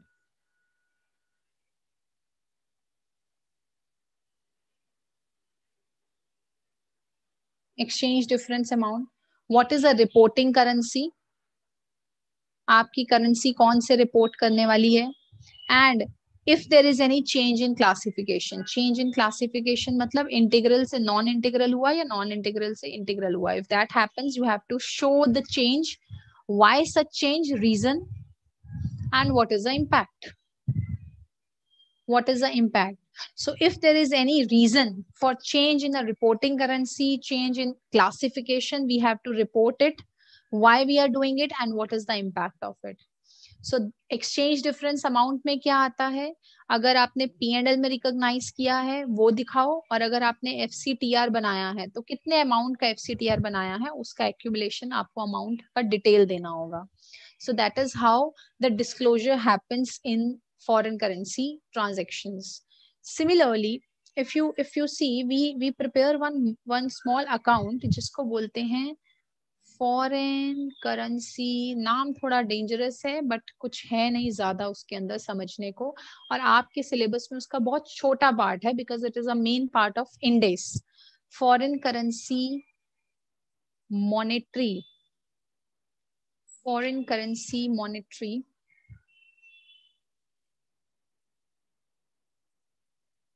items translation difference account. Difference account जिसको बोलते हैं F M I T D F M I T D A which is foreign currency monetary items translation difference account F M I T D A what is that mean this is actually a new paragraph which has been uh, you know introduced in your company which says that whatever the exchange difference is the nature of the exchange difference हम लोगों को exchange difference का depreciable assets हैं we divide it into a depreciable and other assets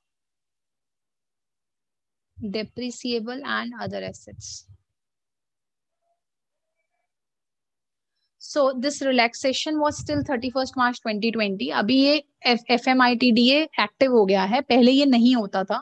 अभी ये दोबारा से amortise होना स्टार्ट हुआ है। Depreciable assets and other other assets depreciable assets में क्या है?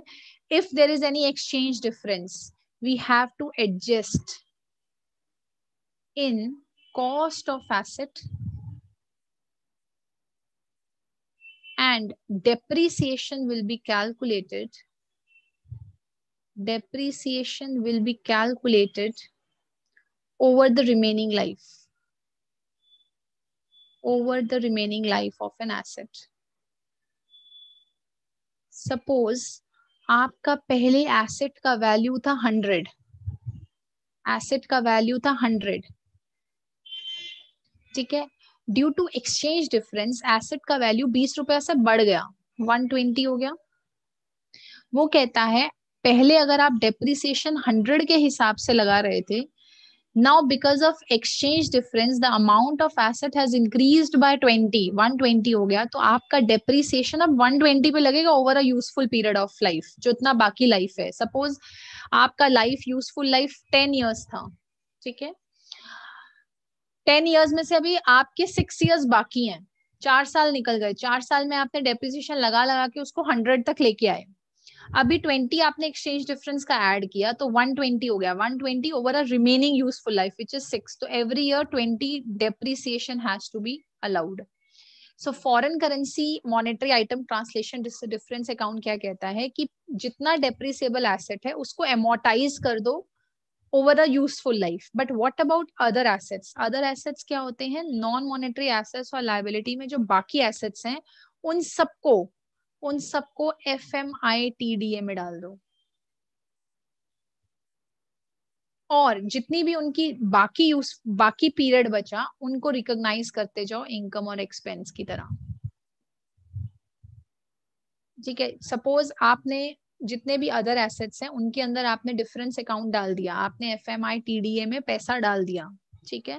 F M I F M I T D A में पैसा डाला। जितना सपोज़ एफ़ आई आपने ये अकाउंट ओपन किया which is in equity and liability liability side ये अकाउंट खुलेगा, जैसे हम फॉरेन करेंसी ट्रांसलेशन रिज़र्व खोलते हैं, वैसे ही ये अकाउंट खुलेगा। अगर आपका सपोज़ अकाउंट में हंड्रेड रुपीज़ पड़ा है, सौ रुपया पड़ा है तो आपके जितने भी बैलेंसिंग लाइफ बची है उन एसेट्स की, उनके ऊपर ही एमोटाइज होता रहेगा। Over a period of suppose ten है तो एवरी ईयर दस दस रुपए आपके एक्सपेंस में एक्सपेंस ऑफ़ होते रहेंगे और बाकी पैसा आपका F M I T D A में दिखता रहेगा। This is this is as per ICS announcement वो कहता है कि F M I T D A has to be shown under equity and liabilities under reserve and surplus over a useful life जितने उन्हें बाकी एसेट्स की जो life बची है, उसको एमोटाइज करते रहो हर साल। बाकी पैसा हमारा यहीं दिखता रहेगा। So what is the use of this? What is the use of this? Why we are showing the accounting treatment of such you know, liability which is relating to a purchase of fixed assets right why we showing because we are capitalising the entire exchange difference आप उसको पूरा का पूरा capitalise कर रहे हो मतलब आप उसका पूरा का पूरा कॉस्ट फिक्स्ड एसेट में दिखा रहे हो। That is why it has to be capitalise and then over a period of time it has to be shown in a P and L account ठीक है? तो जैसे ये बीस रुपया था, आपने यहाँ ऐड किया तो इधर आप क्या बना दोगे उसका? F M I F M I T D A बना दोगे। ट्वेंटी का। और धीरे धीरे इसके यूजफुल लाइफ से आप क्या करते रहोगे? इसको एमोटाइज करते रहोगे। ठीक है? So a very small part of it so don't worry about F M I T D A उसके अलावा भी अगर ए एस इलेवन में बाकी चीज़ें पढ़ लोगे integral non integral conversion A S eleven is basically इस पे जो क्वेश्चन आते हैं, या तो वो ब्रांच अकाउंट के साथ मिक्स होकर आ जाता है because you have foreign branches और they may you know merge it with A S sixteen तो दोनों में से मर्जिंग होना पॉसिबिलिटी है एस इलेवन के आने की। ठीक है? सो अगर तो ये ब्रांच में आता है, वहाँ पर हम अभी फॉरेन ब्रांचेस पढ़ेंगे तो आप वहाँ पे पूरा ट्रायल बैलेंस देखना, हम कैसे उसको रिकॉग्नाइज कर देते हैं। वहाँ आपको खुद ही समझ में आ जाएगा। So we'll be doing this for A S eleven we'll be doing foreign branches as well as A S sixteen as well ठीक है? आगे बढ़े।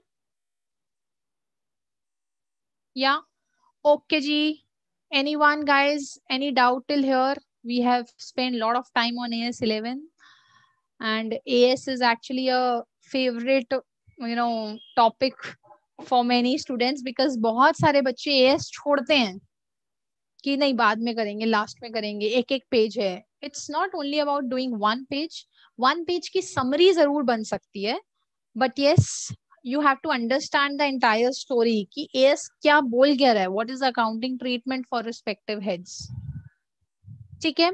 आगे बढ़ते हैं। Let's talk about let's talk about you want me to do any any any small example on as11 guys? Anyone?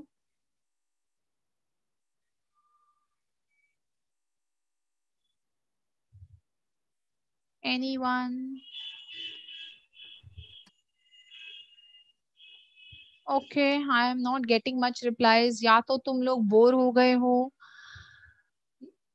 या सब समझ में आ रहा है या बिल्कुल समझ नहीं आ रहा है? So no ma'am it would work without more example okay so we can just move on to S twelve a very simple S twelve ठीक है? Government grants government grants what are government grants we are going to understand the accounting for government grants what are government grants सबसे पहले किस पर applicable होता है ये वो कहता है there are lot of assistance in the form of capital and revenue बहुत सारे ऐसे ग्रांट्स होते हैं जो गवर्नमेंट देती है फॉर एग्ज़ाम्पल गवर्नमेंट हमें क्या देती है सब्सिडी देती है जैसे गवर्नमेंट ने अभी Uh, कुछ सब्सिडीज दी थी। अगर आप नॉर्थ ईस्ट एरिया में या बंगाल में if you have heard about it अगर आप बंगाल में या उड़ीसा में अपनी फैक्ट्री लगाते हो तो आपको गवर्नमेंट सब्सिडी दे रही थी। मतलब वहाँ पे लैंड आपको सब्सिडाइज रेट पे दे रही थी। That's a grant that's a grant that is a form of in kind आपको वो लैंड में थोड़ा सा कम रेट दे रही थी या फ्री में भी दे रही थी कि आप काम करो, वहाँ पे फैक्ट्री डालो because government wants to to get a more employment over there right तो वहाँ पर एम्प्लॉयमेंट अपॉर्चुनिटीज़ ग्रो करने के लिए they have given this option that we are going to give you assistance in the form of subsidy by subsidise land या by free of land मतलब free of cost land दे देंगे. That's a grant that's a grant और there can be a monetary item monetary item मतलब आपका हम अगर पचास लाख का वहाँ पे खर्चा होता है तो उसमें से हम दस लाख आपको पे करेंगे. That's a grant that is in cash so so, उसकी अकाउंटिंग कैसे होती है? हमारे बुक्स में अगर गवर्नमेंट पैसा दे रही है इज़ इट एन इनकम और we should expense it off we should just net off from our expense तो उसकी अकाउंटिंग ए एस ट्वेल्व बताता है। ए एस ट्वेल्व कहता है अगर कोई भी ग्रांट कोई भी assistance in the form of cash which is maybe for a capital मतलब लैंड दे दी बिल्डिंग दे दिया यू नो फैक्ट्री लगाना लगाना है, वो कैपिटल नेचर हो गया। रेवेन्यू डे टू डे हर महीने दस लाख रुपए आपके आपके पास आता है कि अपने खर्चे निकालो। That's a cash that's a revenue item if various government agencies are giving you any kind of subsidy in the form of like assistance duty drawback ऐसा कुछ दे रही है ए एस ट्वेल्व उस पर एप्लीकेबल होता है। ए एस ट्वेल्व किस पर एप्लीकेबल नहीं होता? Where government has a ownership ownership जैसे ओ भेल इन सब में गवर्नमेंट की ओनरशिप है government is not giving grant the government is participating those are the psus public sector undertakings as12 उन पर applicable नहीं होता है they all are having a government participation as such so if government is giving you any assistance in cash or in kind or in ca capital or in revenue nature वो सब A S twelve के under आता है but अगर government खुद आकर intervene कर रही है और पार्टिसिपेट कर रही है it is a P S U it is not a government grant right और आपके प्राइजेस को फ्लक्चुएट करवा रही है। आप जो प्रोडक्ट कर प्रोडक्ट खरीदते हो, जैसे for example here in a vegetable wholesale market you may find that the lot of fluctuation happen in prices right that is not a grant that is not a grant grant is actually assistance आप जिसमें help कर रहे हो in kind और in cash that is called as government grant A S twelve उस पर work करता है। वो कहता है there are two approaches to deal with this money which we are getting in from a government either you can use the income approach or you can use a capital approach. We may use any of the approach, income or capital. Income approach कहता है आप उसको income की तरह मान लो और capital approach कहते हैं, नहीं, उसको कैप आप क्या मानो? शेयर होल्डर फंड्स की तरह पैसा यूज़ करो। मतलब कैपिटल मान लो। कैसे करेंगे recognition will just take all the steps one by one हमने बात करी रिकॉग्निशन कैसे करना है? How we are going to recognize whether it's a grant और नॉट दो कंडीशंस हैं खाली चेक करने के लिए रिकॉग्नाइज करने के लिए। रिकॉग्नाइज कैसे होगा? One firstly government has given you a grant on the basis of following conditions वो कंडीशंस फुलफिल होनी चाहिए। अगर गवर्नमेंट ने बोला, बंगाल में आप लैंड खरीदो और यहाँ पे कोई मैन्युफैक्चरिंग यूनिट ही लगना चाहिए। तो अगर आप वो कंडीशन फुलफिल करते हो लैंड खरीदते हो और वहाँ पे मैन्युफैक्चरिंग यूनिट जैसे टाटा उड़ीसा में लगाया, उन्होंने कंडीशन फुलफिल की तो गवर्नमेंट उनको ग्रांट तब आप उसको रिकॉग्नाइज कर सकते हो। And secondly secondly you have collected ultimate collection will be made आप उसके बाद उस पर काम कर रहे हो और उसके बेनिफिट्स आप क्या कर रहे हो? आगे फॉलो कर रहे हो. That means you are earning out of those grants पहले जो ग्रांट ली है, उस पर आप कंडीशन फुलफिल करो. किसके लिए ग्रांट ली है? स्पेसिफिक कंडीशन फुलफिल करो. एंड सेकेंडली वो पैसा लगाकर start earning it if you are earning it that means आप तब अपनी ग्रांट को रिकोगनाइज कर सकते हो।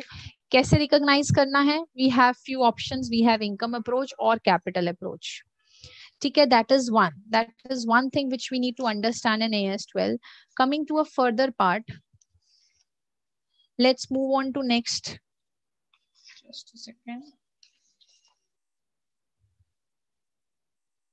okay then what is income approach I say grant is taken as a income इसको कंसीडर कर दो, ये इनकम है taken as an income over a period of time right and in this you treat as a shareholder fund which mean a promoter contribution की तरह work करो capital की तरह इसको वर्क करो। This is one this is this is what they talk about it recognition कहता है, आप रिकोगनाइज करो, अगर आपने कंडीशन कंप्लाई की हैं, और आपको ग्रांट एक्चुअल में मिली है सेकेंडली आपने वो कलेक्शन करके उसके बेनिफिट्स लिए हैं। That is a main grant which is in cash coming to a non monetary government grants non monetary government grant मतलब ज़मीन दे देना, या ज़मीन सब्सिडाइज रेट पर ले लेना मशीन्स देना इम्पोर्ट आपको मशीन्स दे रहे हैं ताकि आप फैक्ट्री लगाओ।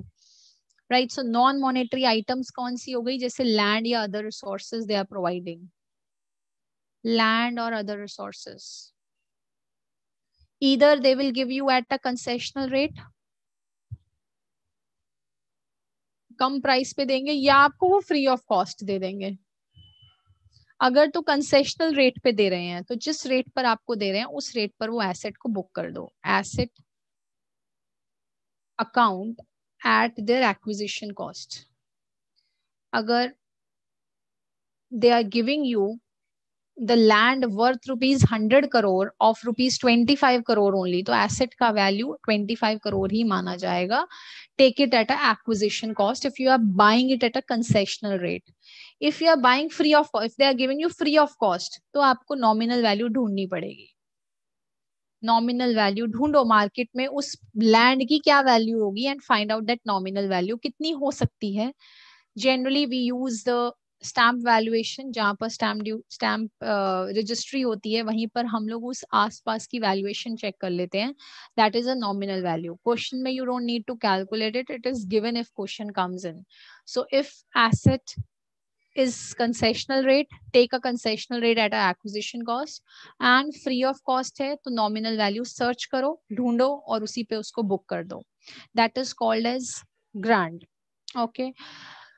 So we have we have we have just seen what kind of grant we are saying income approach और capital approach अगर तो income approach है तो उसको income में book करो if it is a capital approach show it in a shareholder funds which is a capital account ठीक है then आगे बढ़ते हैं how you show the grant आप अपने प्रेजेंटेशन कैसे दिखाते हो? ये तो हमने बात करी ये ये ऐसे ऐसे कर दो कॉस्ट दिखा दो। But how you present it in in in a specific grant I am dividing that presentation into three part presentation of grants I am dividing that presentation into three parts. One is if there is a specific fixed asset, आपको वो machinery बांट रहा है specific fixed assets. If it is related to revenue हर महीने आपको उतना पैसा आएगा। रेवेन्यू रेकरिंग इन नेचर और if it is a capital approach which is a promoters contribution which is हम किसको बोलते हैं? शेयर होल्डर फंड कॉन्ट्रीब्यूशन वो कहता है, अगर तो स्पेसिफिक एसेट के लिए ग्रांट मिला है तो there are two methods to follow there are two methods to follow first method method one method one, अगर आपने एसेट खरीदने के लिए ग्रांट लिया है, मेथड वन कहता है अपने कॉस्ट ऑफ़ एसेट से, जितने की भी एसेट है, उसमें से माइनस कर दो ग्रांट और जितना अमाउंट आएगा ना, उसके ऊपर डेप्रिसिएशन लगाओ। That is one method which says the grant should be shown as a deduction from the value of the asset to arrive at a book value book value तब निकालो। और और जितनी भी ग्रांट के आपने माइनस किया उसका सेकंड सेकंड भी कहाँ दिखाओगे? You have to show the double effect ना। एक तो आपने दिखा दिया ग्रांट को एसेट में से माइनस कर दिया। अभी ग्रांट को रिकॉग्नाइज कहाँ से करोगे? Recognize it in this grant has to be recognize in P and L account in P&L account over useful life of asset. Very important concept, useful life of an asset. लेकिन अगर पूरी grant asset के ही उसमें है equalise है तो पूरी की पूरी कॉस्ट आप कह दोगे कि अरे तो माइनस कर दो suppose asset cost is crore grant is also hundred crore. So if the grant equals the whole और द वैल्यू तो आप ज़ीरो नहीं दिखा सकते। You can not show it as zero you can show it as a nominal value same concept जो हमने पीछे पढ़ा है। फ्री ऑफ़ कॉस्ट वाला। इसका मतलब आपके लिए तो वो फ्री हो गई ना। सो show it in a nominal value. That is the first method whereby you can reduce the grant and then calculate the depreciation. जितना भी grant है उसको recognize कर दो P&L में over a useful life. अलग से दिखाना पड़ेगा आप आप कहोगे इसमें डिफरेंस क्या है डेप्रिसिएशन तो कैलकुलेट कर ही रहे हो उसी में डाल दो it's a part of presentation it's a part of presentation that is the first method second method कहता है method two method two. Method two कहता है, आपके जितने भी ग्रांट्स आ रहे हैं, जितने भी ग्रांट्स आ रहे हैं treated as a deferred income deferred income क्या होती है मालूम है? डेफर्ड इनकम आप आज इनकम जनरेट कर रहे हो for five years that is deferred income बढ़ा रहे हो। वो कहता है, जितनी भी ग्रांट्स आपको डेप्रिसिएबल एसेट पे मिल रही हैं, उन सबको डेफर्ड इनकम पे मान लो, और every year P and L में थोड़ी थोड़ी इनकम को रिकॉग्नाइज करते रहो। ग्रांट को एज इट इज़ दिखाओ। Don't reduce it from a asset side grant को ग्रांट की तरह दिखाओ। एंड एवरी ईयर उससे जो इनकम जनरेट हो रही है उतनी उतनी ग्रांट को हर साल यूजफुल लाइफ ऑफ़ एसेट के बेसिस पर डालते रहो। मतलब एसेट की वैल्यू एज इट इज़ दिखाओ। There is no need to minus it difference नहीं है। दोनों का खाली प्रेजेंटेशन अलग है। यहाँ पर भी आप अगर ग्रांड को माइनस कर रहे थे यहाँ लेकिन रिकॉग्नाइज तो वही कर रहे थे ना तो टोटल डेप्रिसिएशन और रिकॉग्निशन देखोगे तो सेम ही आंसर आएगा। एंड मेथड टू में वो कहता है ग्रांट को माइनस मत करो डेफर्ड इनकम की तरह रिकॉग्नाइज कर दो। दैट मीन्स यूजफुल लाइफ पर। It is on the basis of depreciable non depreciable asset को कहता है नॉन डेप्रिसिएबल एसेट जैसे land land is a non-depreciable asset which says if you are getting a grant related to non-depreciable asset credit it to capital reserve capital reserve because you can not charge an income on such assets non depreciable asset पर आप income charge नहीं कर सकते right because it keeps on increasing so आप उसको कहाँ दिखा दो कैपिटल रिज़र्व में दिखा दो right so they say whatever the whatever the grant is there either you reduce it from asset या as it is उसको show कर दो if it is a depreciable asset show it as a deferred income right and every year over a useful life उसको P&L से recognize करते रहो इसका मतलब asset की value total दिखानी है और ग्रांट की वैल्यू भी टोटल अलग से दिखाओ as a deferred income and every year income profit and loss में उसको over a useful life recognize करते रहो। नॉन डेप्रिसेबल एसेट पे अगर आपको ग्रांट मिली है show it in a capital reserve account rather than recognize it in P and L account क्यों? क्योंकि नॉन डेप्रिसेबल एसेट के ऊपर क्या होता है? There is no charge to income income पे कोई चार्ज नहीं होता because that's going to be a complete uh, you know uh, the the value gets increased every year as it is a non depreciable land ki value appreciate hoti hai and they, there cannot be any charge on that income. That is called as method 2 if it is related to revenue if it is related to revenue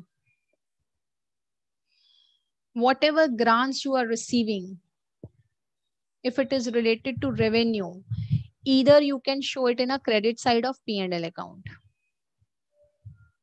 P and L account which says other income other income में उसको grant की तरह दिखा दो। Alternatively और क्या कर सकते हो? और आप क्या कर सकते हो? इसको एक्सपेंस में से उतना ग्रांट माइनस कर दो मतलब नेट ऑफ़ एक्सपेंस कर दो। अगर आपका एक्सपेंस 40 लाख का हो रहा था and you are getting a grant from a company from a government of 10 lakh rupees so show expense of 30 lakh rupees either show this या उसको अदर इनकम में दिखा दो। सो बेसिकली रेवेन्यू है तो पी एंड एल में credit या debit इस तरह से हम लोग दिखाते हैं। ठीक है? In the nature of promoters contribution in the nature of promoters contribution अगर तो हम उसको एज एन इन्वेस्टमेंट ले रहे हैं। एज एन इन्वेस्टमेंट ले रहे हैं so we will show it as a capital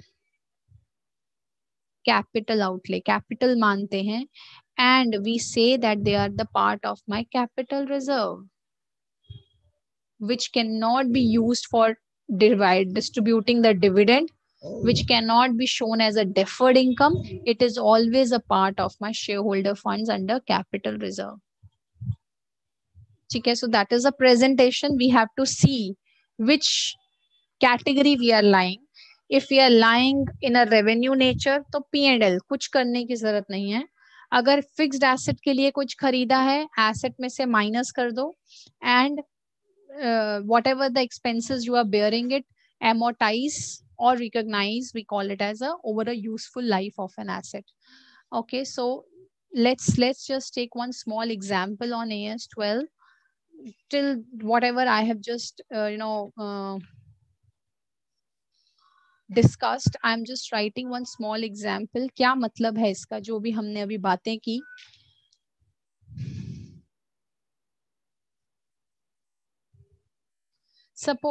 There is one company A B limited उन्होंने have bought one machinery they have bought one machinery of rupees twenty five lakh पच्चीस लाख की machinery खरीदी। ठीक है? Useful life ten years residual value, which is a salvage value, residual value five lakhs. ठीक है? जब ये एसेट खरीदा गवर्नमेंट ने हमें grant the. Government has given a grant government granted five lakh rupees government ने बोला, पाँच लाख रुपए हम देते हैं। And we are treating the grant as a deferred income आपको वो कॉन्सेप्ट थोड़ा सा डिफरेंट लग रहा होगा। What is what you mean by deferred income सबसे पहले I do the journal entries पहले मशीनरी बाय की what is the entry of machinery buying की? Machinery to bank machinery to bank we have bought a machinery of 25 lakh simple first year 25 lakh रुपए की machinery खरीद ली.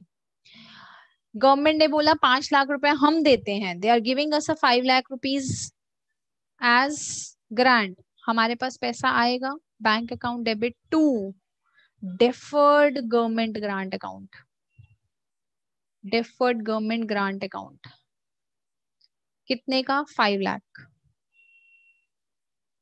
we are treating as a deferred income third will provide a depreciation at the end of the year depreciation to machinery depreciation to machinery depreciation to machinery कैसे लगेगी? Simple twenty five lakh के ऊपर residual value हटा दो पाँच lakh.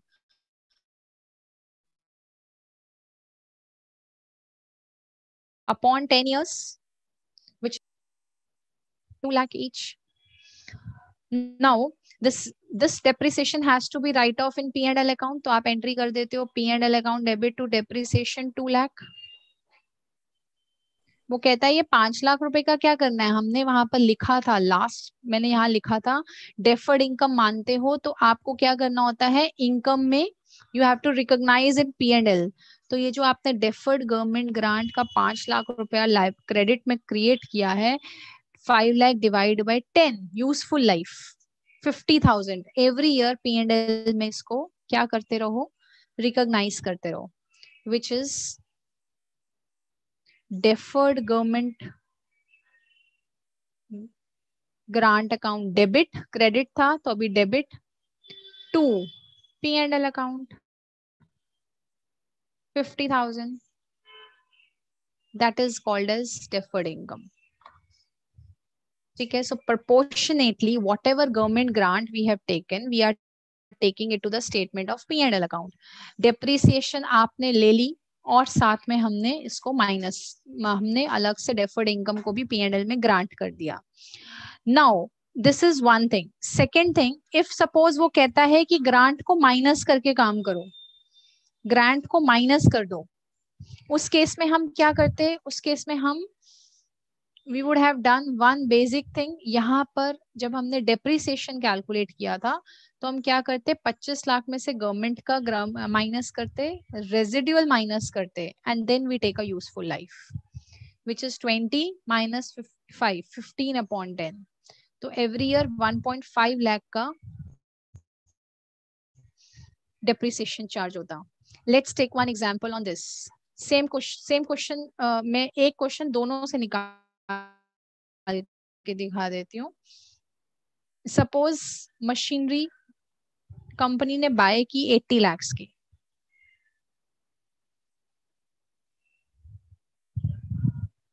Useful life four years residual value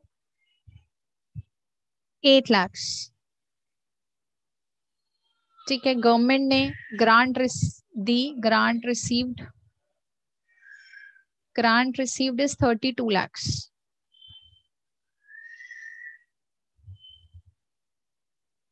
है we have to show the account how to how to calculate it they say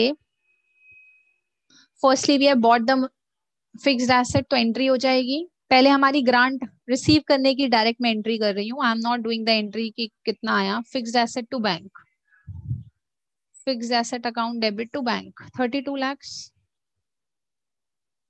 ये हम लोग एंट्री कर रहे हैं जब हम लोग फिक्स्ड एसेट में माइनस करके काम करते हैं। अभी अभी एंट्री क्या होगी? Thirty two lakh divide by useful life divide by useful life which is eight lakhs every year we are going to defer that. Let's see when you do the entry of government grant जब आप minus करोगे तो fixed asset में से 80 lakh minus grant received 32 lakh. The value is 80 minus 32 it's coming 48 उसके ऊपर depreciation कितना divide by four that is 12 12 lakh depreciation इसका 32 लाख का क्या करेंगे? 32 lakh divide by four 8 lakh rupees का every year we have to P and L amortize ठीक है? सो पहले में हमने एमोटाइज ऐसे नहीं किया था। हमने अकाउंट खोला था अलग से और यहाँ यहाँ पर हमने ग्रांट को माइनस नहीं किया था। This is a residual value but in case when we use the fixed asset account when we are you just using a fixed asset account हम फिक्स्ड एसेट में से ग्रांट माइनस करते हैं।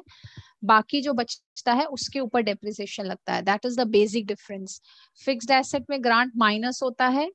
When you use a deferred grant account you don't need to minus it. You have to create an account which is in our previous example. Is it clear guys? This is the first part.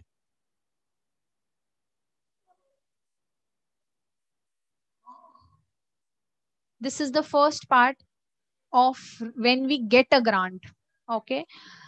Then comes the refund of grant. I hope this is clear till here guys. Refund of grant यहाँ तक समझ में आया जब हमें grant मिलती है। ठीक है अगर स्पेसिफिक फिक्स्ड एसेट के लिए मिलती है रेवेन्यू के लिए मिलती है या प्रमोटर्स कंट्रीब्यूशन कैपिटल की तरह मिलती है वो तीनों चीज़ें हमने कवर की हैं। Good to go can I move ahead ma'am last example में रेसिडुअल वैल्यू लेस करनी नहीं है क्या? डेप्रिसिएशन लेते हुए? है करनी है करनी है। किया ना? देखो माइनस अच्छा यहाँ नहीं किया, माइनस एट करेंगे yes forty eight minus residual value जितनी भी है, फोर, एट है यहाँ पे sorry eight, forty divide by how many years, four तो टेन लाख। दस लाख हर साल। ठीक है तो हमेशा फिक्स्ड एसेट के उसमें ग्रांट माइनस होती है डेफर्ड इनकम में ग्रांट माइनस नहीं होती, अलग से अकाउंट ओपन होता है और over a period of useful life वो पी एंड एल में चार्ज होता रहता है। दैट इज़ द डिफरेंस ठीक है? Let's move on to refund of grant refund of grant इसका मतलब गवर्नमेंट जो ग्रांट देती है, पहले दिया, अब कहती है, तुम्हारा बिज़नेस अच्छा चल गया ना हमने तुम्हें जो पहले ग्रांट दिया था, पैसा दिया था बिज़नेस सेट करने के लिए, अब वो वापस करो। You have to refund it generally grants are non refundable वो जो हमने अकाउंटिंग ट्रीटमेंट किया, वहीं तक होता है। But in case such grants are they are always subject to it हमेशा पहले से ही डिसाइडेड होता है वेदर इट्स नॉन रिफंडेबल और रिफंडेबल लेकिन अगर कुछ ग्रांट्स ऐसी हैं कि आपने जो पहले बिज़नेस सेट करते हुए सपोज़ लैंड दी थी अब वो लैंड वापस मांग रहा है। आप कहते हो, जी लैंड तो मैं नहीं दे सकता, मेरा तो बिज़नेस सेट है। आप उसकी जगह जितने की भी लैंड थी, जो वैल्यूएशन आपने की थी, आप मुझे बता दो, मैं आपको पैसा दे देता हूँ। इसका मतलब आप उसकी ग्रांट वापस कर रहे हो।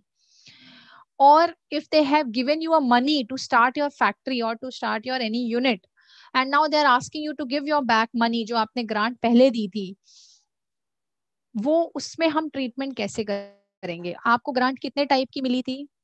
या तो ग्रांट मिली थी स्पेसिफिक एसेट के लिए और it is in the nature of revenue और it is in the nature of promoters contribution तीनों में कोई भी रिफंड मांग सकता है।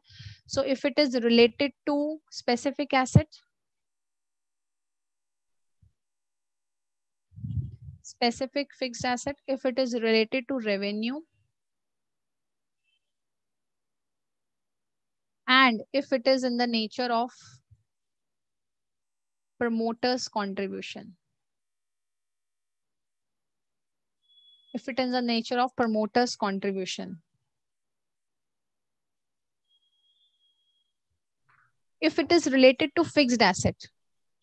आपको पहले फिक्स्ड एसेट के फॉर्म में ग्रांट मिली थी, अब वो पैसा मांग रहे हैं तो आप क्या करोगे increase the book value minus किया था तो आप प्लस कर दो you have to increase the book value of an asset आप पैसा दोगे?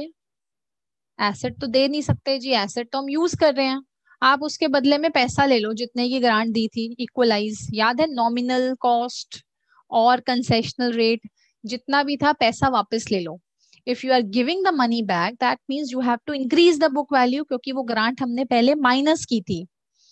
या तो ये करना पड़ेगा, और by reducing the deferred income जो हमने मेथड किए थे दो डेफर्ड इनकम या फिक्स्ड एसेट अकाउंट दोनों में से कोई भी जो भी मेथड यूज़ किया उसको रिवर्सल कर दो।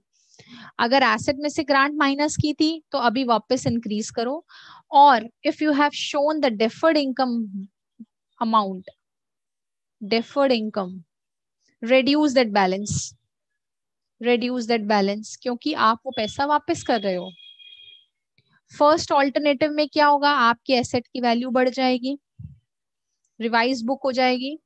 बुक का बैलेंस बढ़ जाएगा एसेट की बैलेंस बढ़ेगा तो बाकी यूजफुल लाइफ के ऊपर डेप्रिसिएशन का अमाउंट भी बढ़ जाएगा। We have to increase it अगर सपोज़ आपने हंड्रेड के ऊपर आपको ग्रांट ट्वेंटी थी, आप एट्टी के ऊपर यूजफुल लाइफ के ऊपर काम कर रहे थे now after seven years three years बाकी हैं थ्री ईयर्स के पहले ही उन्होंने बोल दिया, जी, पैसा वापस करो। तो आपका प्लस ट्वेंटी हो जाएगा। सपोज़ आपकी तब वैल्यू थी फोर्टी तो 40 प्लस 20 60 बाकी तीन तीन के ऊपर, तीन साल के ऊपर आपको रिवाइज करनी पड़ेगी depreciation you have to add back the value and whatever the remaining life of an asset is there apply the depreciation accordingly so it has to be prospectively not retrospectively retrospectively change नहीं होगा. Over a useful जो बाकी life है, उसमें depreciation charge हो जाएगा. So they say you have to increase the book value of the asset if you have reduce the grant और if you have not reduce it from the grant deferred income दिखाई थी तो deferred income का balance कम कर दो, खत्म कर दो। That's what that that is what what we are doing we are just reversing the effect ठीक है? If it is related to revenue revenue मतलब आपको हर साल पैसा आता था? आप क्या करते थे वो पैसे का? You showed in P and L statement हम उसको इनकम दिखाते थे। अदर इनकम में या हम एक्सपेंस में से नेट ऑफ़ करते थे. This is what we were showing it as a normal P and L item but अभी क्या है? जितना भी पैसा आपका आया जितना भी पैसा आपने लिया था अभी वो उनसे वापस मांग रहा है. सो so, आप जितना भी रिफंडेबल अमाउंट बचा है refundable amount because this is already been existence आपको पहले से ही पता होता है कि ग्रांट रिफंडेबल है या नॉन रिफंडेबल है। If you know it's refundable so obviously you will prepare a reserve आप बनाकर चलोगे ना, एक डेफर्ड क्रेडिट अमाउंट बना के चलोगे कि इतना मुझे पे करना पड़ सकता है। सो डेफर्ड क्रेडिट अमाउंट जो आपने पे जो आपने क्रिएट किया होगा सामने उसके, और जितना भी रिफंडेबल अमाउंट है you have to you have to unamortise it वो पूरा का पूरा deferred credit which you have created as a non-refundable amount, as a refundable amount unamortise it unamortise मतलब क्या? उसी साल ही पूरा का पूरा खत्म कर दो। क्योंकि आप आगे उसको कैरी फॉरवर्ड नहीं कर सकते। You are not getting the money more and you have to in fact pay back तो आपने जो डेफर्ड क्रेडिट का कॉलम बनाया होगा बिकॉज़ इट्स रिफंडेबल जब आपको पैसा मिलना शुरू होता है, तभी मालूम होता है कि आपको पैसा देना भी है वापस।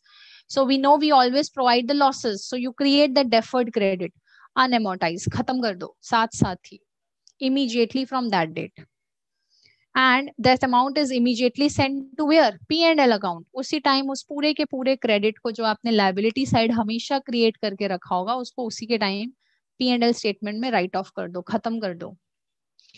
And if it is a nature of promoters contribution promoters contribution we know that it's refundable simple capital reserve create किया था माइनस कर दो रिड्यूस कर दो उतना amount reduce it from a capital reserve खत्म कर दो balance that is why when there is a refundable we always come up with provision हमेशा हमारा एक रिज़र्व क्रिएट होता है। वो रिज़र्व को आपको खत्म करना है। That is called as refundable and the most important thing is it is always treated as an extraordinary item extraordinary item आपको नहीं है। ए एस फाइव बात करता है, जिसमें वो कहता है कि हम लोग ये सब चीज़ें एक्स्ट्रा ऑर्डनरी आइटम्स में कवर करते हैं because grant is not every day you refund it right it may happen after over a period of time थोड़े टाइम के बाद आप रिफंडेबल पे पोजिशन पे आते हो। इसीलिए we call we don't call it as a ordinary item it is a extraordinary item which happens not on a regular basis clear so that is a refund as it is जो पैसा लिया था, आप उसको वापस कर रहे हो तो पूरा का पूरा इफ़ेक्ट नलीफाई करना है। Same category specific fix asset revenue और प्रमोटर्स कॉन्ट्रीब्यूशन ठीक है? What are the disclosures simple disclosure क्या है? अकाउंटिंग पॉलिसी बताओ।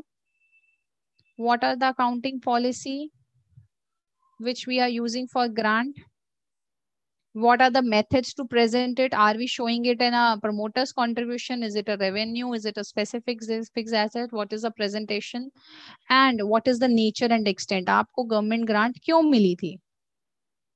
Nature and extent of government grant non monetary item थी या मॉनेटरी आइटम थी वो सब इंफॉर्मेशन आपको बतानी होगी in disclosure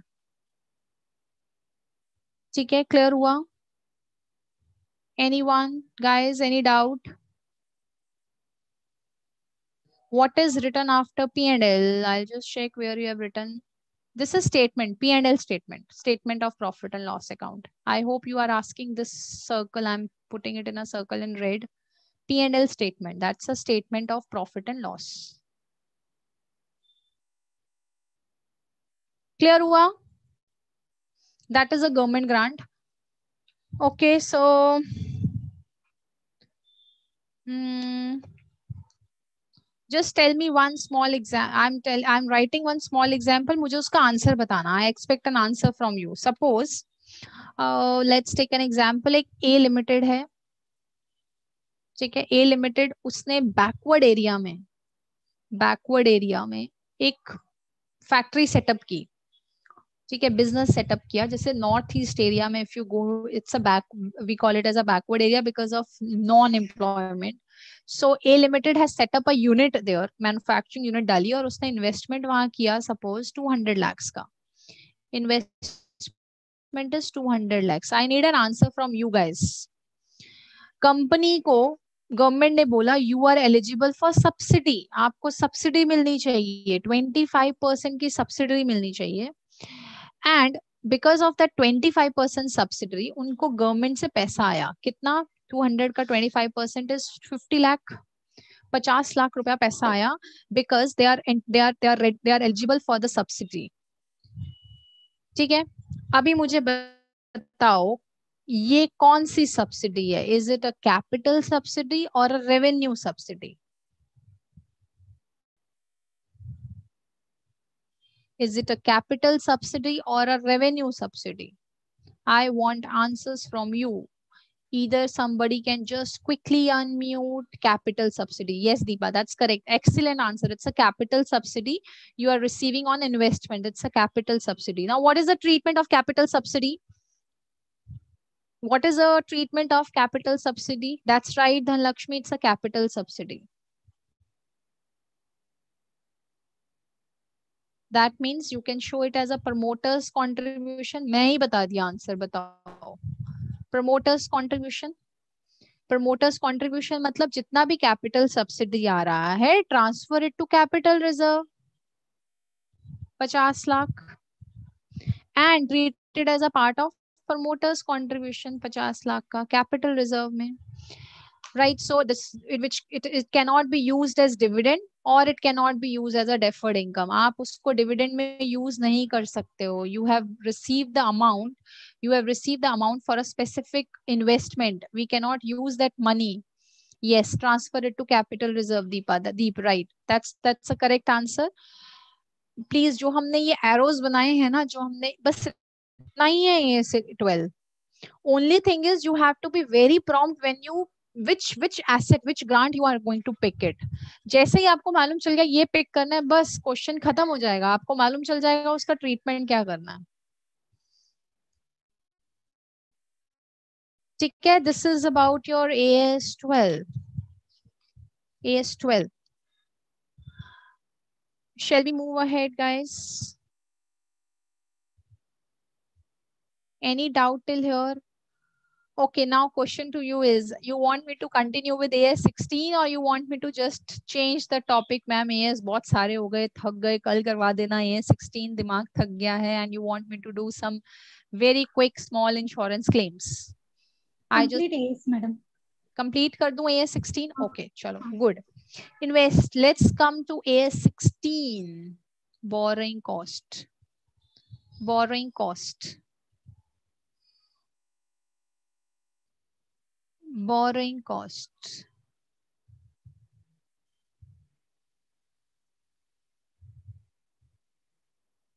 Borrowing cost borrowing cost क्या होता है? Why they are taking the treatment under A S sixteen what is borrowing cost let's take an example आपने एक बैंक से लोन लिया टेन लाख का। and you are paying interest on that loan. Suppose 10% abhi to loan ke amounts rates bahut kam hai but i am taking 10% right? So you are paying interest on loan to borrow amount. You have incurred cost. That is called as borrowing cost. This is one kind of it huh? This is one type of cost which we bear. Okay second second. Suppose maybe some of you have learned or read somewhere कि जो bank का overdraft facility होती है overdraft overdraft overdraft जब आपका bank का balance negative आता है तो आप बोलते हो कि ओवरड्राफ्ट है। कई बार आप बोलते हो ना, मेरे बैंक अकाउंट में हम लोग जनरली क्या बोलते हैं? बैंक बैलेंस नेगेटिव है मतलब ओवरड्राफ्ट है। It's it's not a correct word. Why? Negative balance is not always overdraft. आप सपोज़ एक चेक डिपॉजिट करते हो। आपका, आपने किसी के नाम चेक लिखा और वो चेक जाके आपने किसी ने डिपॉजिट करवाया। वो बाउंस हो गया। क्या बैंक आपका नेगेटिव बैलेंस कर देगी और उसको पैसा दे देगी। नहीं, आपका चेक बाउंस हो जाएगा। So for this overdraft thing the customer has to take a facility bank ये फैसिलिटी देता है। It's a kind of a facility which bank gives to provide a overdraft limit आपका अगर बैलेंस नहीं भी है then also a business can withdraw more than that. So there is a limit fixed on it. हमें वो bank के लिए apply करना पड़ता है कि मुझे एक करोड़ का लिमिट चाहिए या दो करोड़ का लिमिट चाहिए. That is a OD limit overdraft limit अगर सपोज़ मैंने बैंक से वन करोड़ का लिमिट ले लिया, ठीक है वन करोड़ में से आई हैव यूटिलाइज से फॉर एग्ज़ाम्पल सिक्सटी लाख का लिमिट मैंने साठ लाख का लिमिट यूज़ किया. मैंने क्या पे किया होगा साठ लाख के ऊपर इंटरेस्ट ओडी के ऊपर भी इंटरेस्ट होता है bank will pay bank will ask me to pay suppose उन्होंने दो परसेंट के हिसाब से मुझसे क्या लिया? सिक्सटी लाख के ऊपर इंटरेस्ट लिया। This is a borrowing cost yes this is a borrowing cost but one crore one crore के ऊपर साठ लाख मैंने यूटिलाइज किया but still forty lakh is still been available bank can not use forty lakh क्योंकि उन्होंने वो मेरे लिए ब्लॉक किया हुआ है। मेरे बिज़नेस के लिए ब्लॉक किया हुआ है because I have taken a facility of one crore this is my description that I only you use sixty lakh rupees but still bank ने तो अपनी तरफ़ से फोर्टी लाख भी ब्लॉक किए हुए ना, मैं कभी भी मांग सकती हूँ। तो बैंक बोलता है, ये चालीस लाख रुपया हम यूज़ नहीं कर सकते। Why because you may use it in any next hour right you have we have block this money for you हम इसके ऊपर भी चार्जेस लेंगे तो वो हमसे इसके ऊपर भी चार्जेस लेता है, जिसको बोलते हैं कमिटमेंट चार्जेस आपके एएस में अगर आपने पढ़ा होगा तो ये डेफिनेशन के पार्ट है। Commitment charges that means they are committed to the amount that whether और not we are using it that money is blocked तो वो उसके भी चार्जेस लेता है। This is also a part of borrowing cost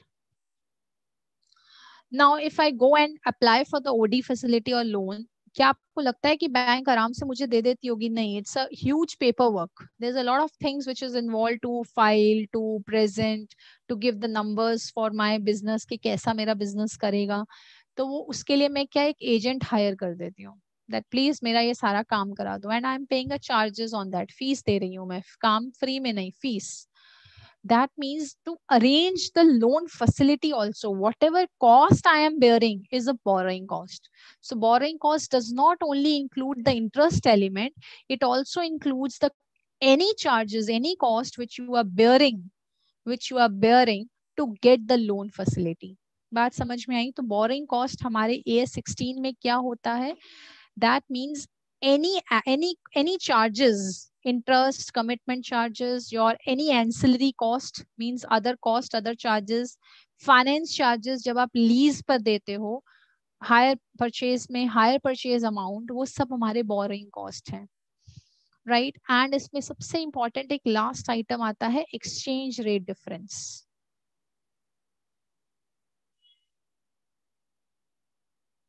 exchange rate differences if borrowings are in foreign currency उसका क्या करेंगे? अगर आपने बाहर से लोन लिया है राइट right, आप इंटरेस्ट भी बाहर डॉलर्स में ही पे करोगे फॉरेन करेंसी में ही पे करोगे तो उसमें आपका एक्सचेंज रेट डिफरेंस का क्या ट्रीटमेंट होता है? We'll club A S sixteen and A S eleven for this point exchange rate differences so borrowing cost includes interest commitment charges discounts premiums any finance charges for leases, hire purchase, any other cost which is incurred to get the facility, to get the loan facility.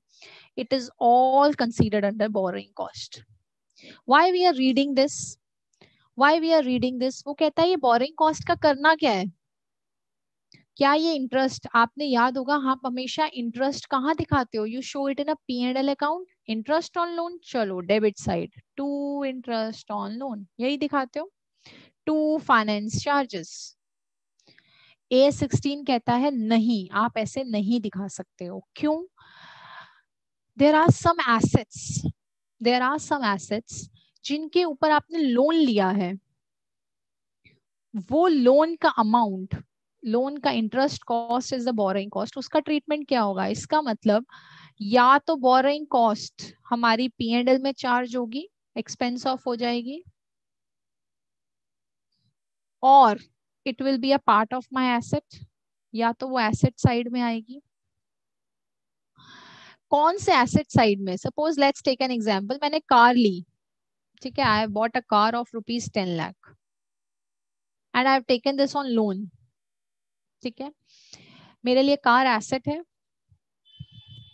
मैंने loan पे लिया और उसके ऊपर interest पे किया। Interest is paid one lakh तो मेरे एसेट वो कहता है, ये जो एक लाख का इंटरेस्ट है, क्या वो एसेट का पार्ट होना चाहिए या आप अपने पी एंड एल में दिखा दो? This was the question under A S sixteen आपको ये interest component whatever the cost you are bearing for you are you are bearing for the for the for the borrowing amount whether it will be a part of my asset और it will be a part of my P and L that means expense off debit कर दो सीधा क्या करना चाहिए this is covered under A S sixteen right? They say we have to decide what kind of asset it is. What kind of asset it is. अगर तो वो asset qualify कर जाता है हमारी कंडीशन में अगर तो वो एसेट हमारे कंडीशंस के हिसाब से क्वालिफाई कर जाता है तो आप कोई भी इंटरेस्ट पे कर रहे हो, कुछ भी बोरिंग कॉस्ट पे कर रहे हो it has to be a part of my asset तो हमारा बोरिंग कॉस्ट एसेट का पार्ट माना जाएगा। और अगर वो क्वालिफाइंग एसेट नहीं बनता है तो सब पी एंड एल में जाएगा। Other than qualifying asset everything should be expense off in P and L account same year you don't need to make it a cost of an asset.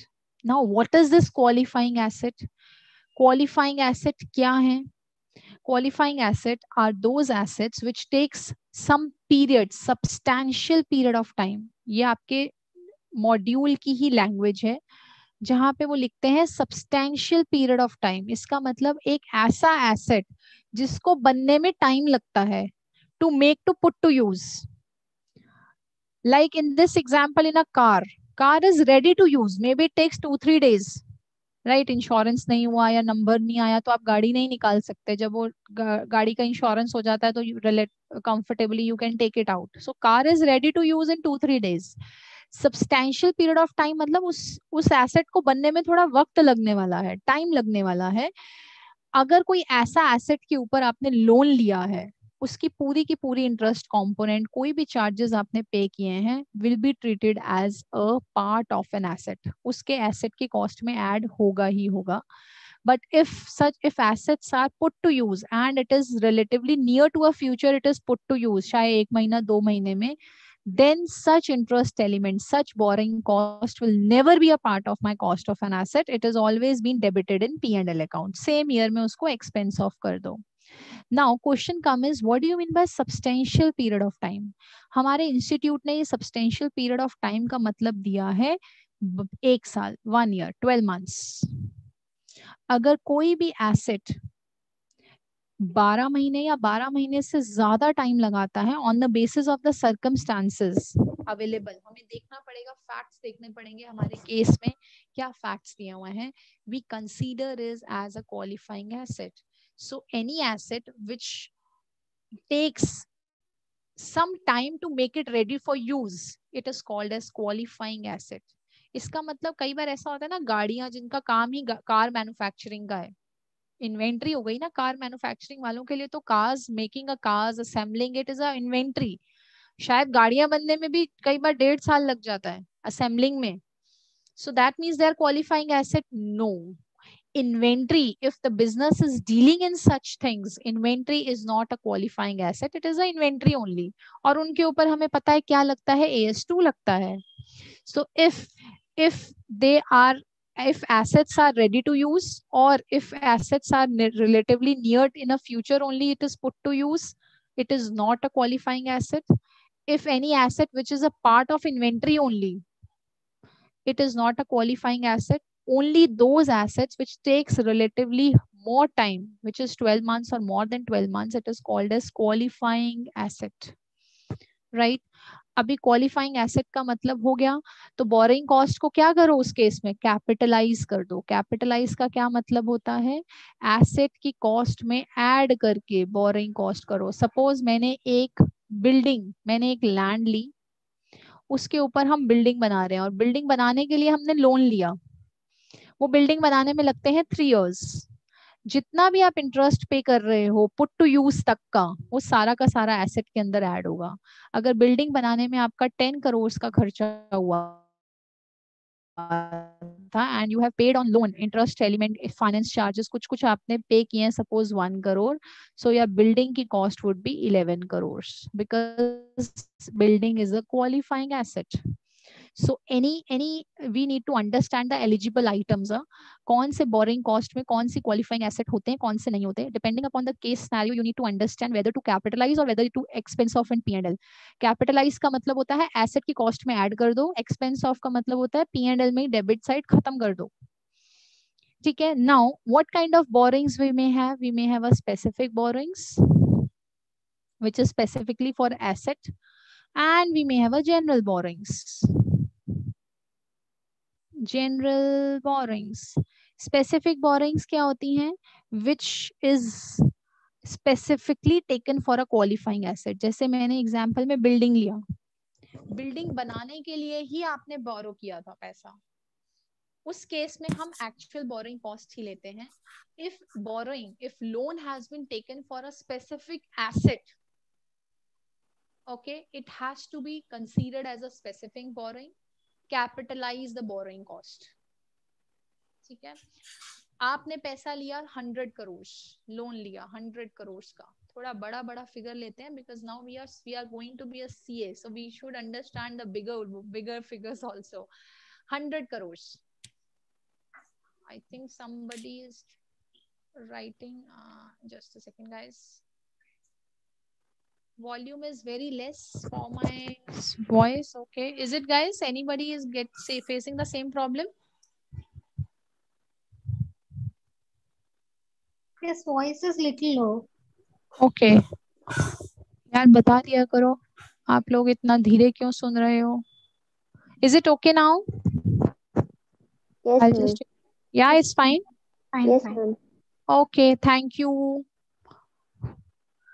specific borrowing specific borrowing that means any any borrowing any loan which has been taken for a specific asset that is called a specific borrowing आपने loan लिया hundred crore का उसके ऊपर आपने loan लिया hundred crore का to मैनु to construct a building specific building बनाने के लिए पाँच साल लगते हैं वो बिल्डिंग बनाने में building is a qualifying asset उस हंड्रेड करोड़ के ऊपर you have paid two crore का interest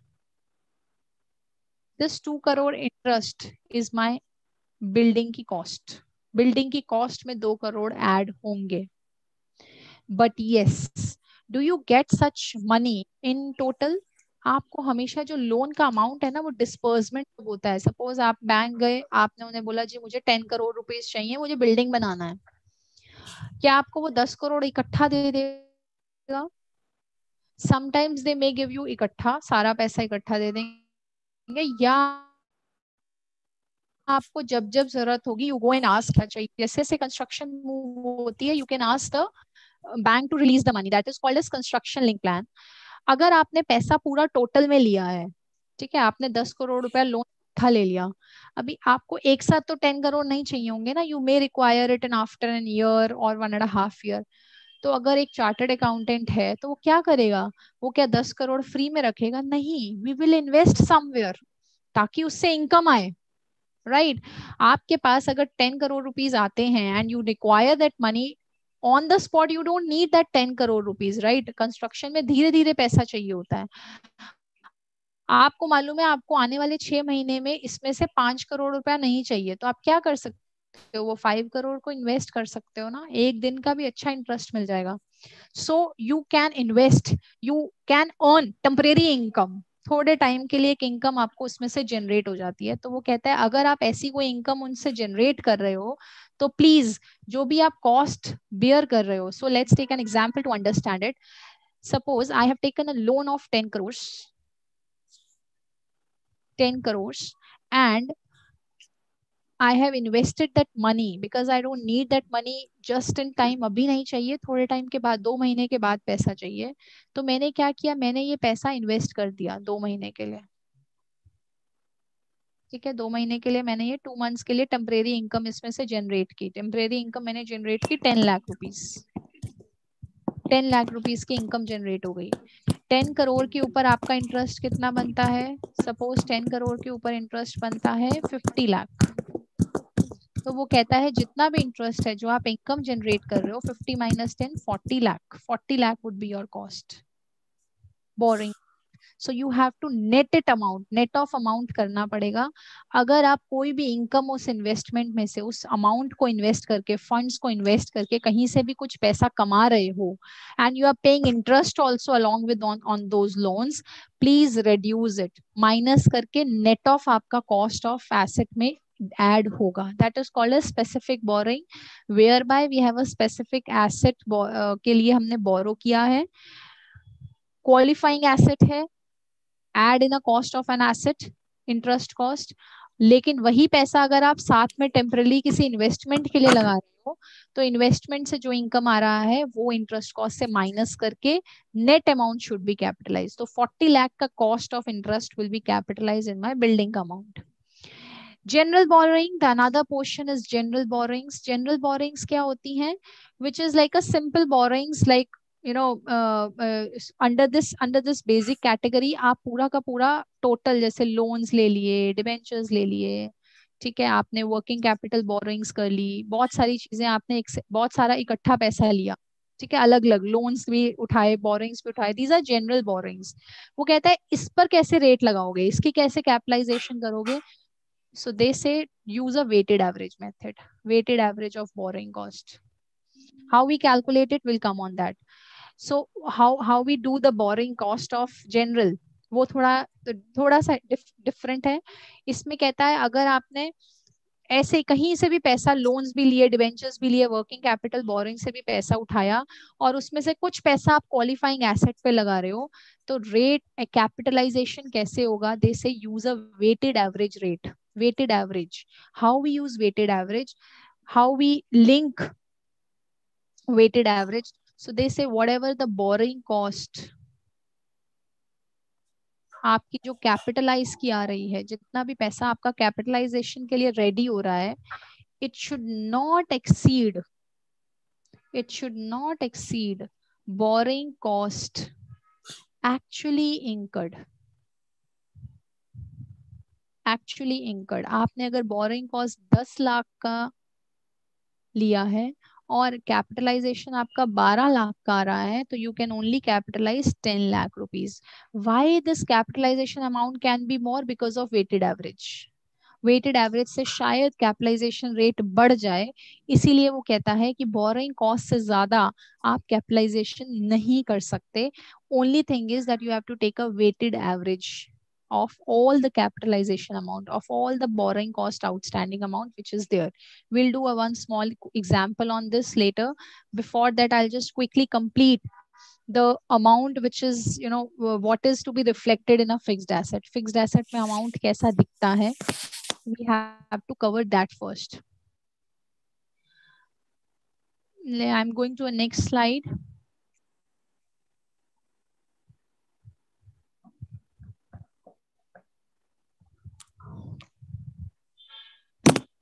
okay next says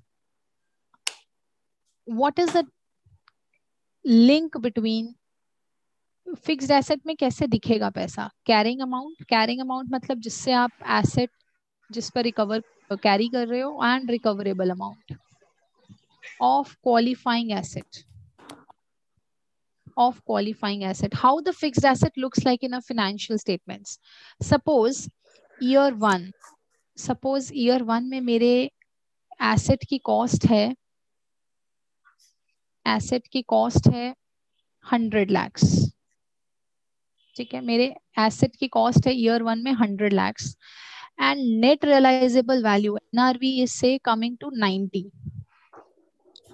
a very simple example to understand the capitalized element of the borrowing cost कैसे करते हैं हमने बात करी थी कि हमारा एलिजिबल बोरिंग कॉस्ट कितना होता है? हमने कहा हमारी जो एसेट की कॉस्ट है वो हंड्रेड लैक्स है इंक्लूडिंग द बोरिंग कॉस्ट हमारी एनआरवी नाइनटी लैक्स है तो वो कहता है आपको रिटर्न डाउन करना पड़ेगा राइट डाउन टू नाइन्टी आप एनआरवी से ज़्यादा नहीं दे सकते तो आपको 10 लाख से कम दिखाना पड़ेगा। Write down your asset to 90 that means they are taking a limit ऐसा ना हो कि नेट रियलाइजेबल वैल्यू कम हो और आप उस पर कॉस्ट पे कॉस्ट लगाते जा रहे हो और अपना एसेट का वैल्यू बढ़ाते जा रहे हो। तो वो कहता है please check the NRV as well and write down to 90 10 minus करना पड़ेगा। You can not do anything on this suppose year two year two what would be the cost 90 on this date our nrv is 98 nrv is 98 वो कहता है cost come can somebody mute it i am just getting few noises from there okay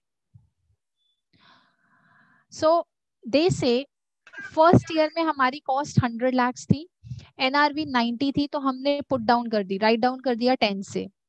अगले साल हमारी opening year two 90 हो गई NRV is 98 compare it this 98 with actual cost what we can do we can just अभी 90 थी तो 98 हो सकती है मतलब प्लस एट राइट बैक कर दो प्लस एट तो 98 पे डाल दो। Always compare this figure with original cost इससे नीचे ही रहना चाहिए I repeat this thing very important aspect of carrying amount and the recoverable amount we say we say in a year two my return the my, the value of my asset is 90 but nrv is suppose 98 बढ़ गई तो अभी हमारा right back हो जाएगा कितना आठ eight 90 से 98 हो रहा है at so that means now my cost of an asset is 98 why we are doing it why we are doing this because we are capitalizing the amount and that capitalizing amount this the last amount should not be more than this 100 lakhs इससे ज्यादा नहीं हो सकती next year देखो suppose 98 हो गई year three में and my NRV suppose 105 तो क्या 98 से 105 that means can we increase seven no we can not because there is a limit of 100 lakhs तो हम कितना राइट बैक करेंगे राइट बैक टू करेंगे 98 plus two hundred right so this is a very very important concept to recognize to capitalize the element how to capitalize the cost our cost of capitalize amount cannot exceed the original borrowing cost so 100 lakhs से ज़्यादा नहीं हो सकती अगर आप 105 पे हो last में तो आप 105 पे नहीं दोगे 98 और 100 को ही फिर आपको कंपेयर करना होगा। That means you can only write back two plus two आप दो लाख से और राइट बैक कर दो। Increase the value to 100 lakh तो आपकी कैपिटलाइजेशन वैल्यू 100 लाख होगी, ना कि 105 लाख होगी। That means my carrying amount my carrying amount has to be has to be compare at every year NRV पर जब तक हमारी कैपिटलाइजेशन स्टार्ट नहीं हो जाती। कैपिटलाइजेशन कब स्टार्ट होती है? हम डेप्रिसिएशन कब स्टार्ट करते हैं? When the asset is ready to put to use तब तक तो हम करते नहीं। सपोज़ मेरी बिल्डिंग बन रही है। Let's take an example in Mumbai we have in in uh, in bkc we have a huge geo world center is going on. I don't know how many of you know it because uh, it's a wirc अपना जो ICI है उसके सामने एक जियो world centre बहुत बड़ा बन रहा है ठीक है? It's been i think more than 8 years 7 8 years that construction is going on jitna bhi kharcha usme ho raha hai the depreciation the asset will be capitalized asset will be you know the the recognized as a fixed asset when it is ready to put to use अभी तक उसका काम चालू है तो क्या asset बना दे नहीं it is a capital work in progress सिविप है वो अभी कैपिटल वर्क इन प्रोग्रेस है जब उसके उसमें ऑपरेशन स्टार्ट होंगे पुट टू यूज़ होगा when that building is ready to use okay from that date depreciation is allowed from that date capitalization starts तब वो fixed asset register का part बनेगा and AS10 apply हो जाएगा till then जितनी भी हमारी cost है बोरिंग कॉस्ट है पिछले इतने सालों की जब तक वो लोन शायद लोन पे हो वी डोंट नो बट अगर लोन पर होगी तो उसके ऊपर जितना भी खर्चा कॉस्ट का हुआ है it is a part of my cost of building till then हम उसकी एवरी ईयर एनआरवी और कॉस्ट चेक करते हैं। राइट बैक राइट डाउन हमारा सिविप में चलता रहता है। And at the end of the year when we start the capitalization we write back and not more than the carrying amount ठीक है? क्लियर हुआ ये चीज़? You want me to repeat it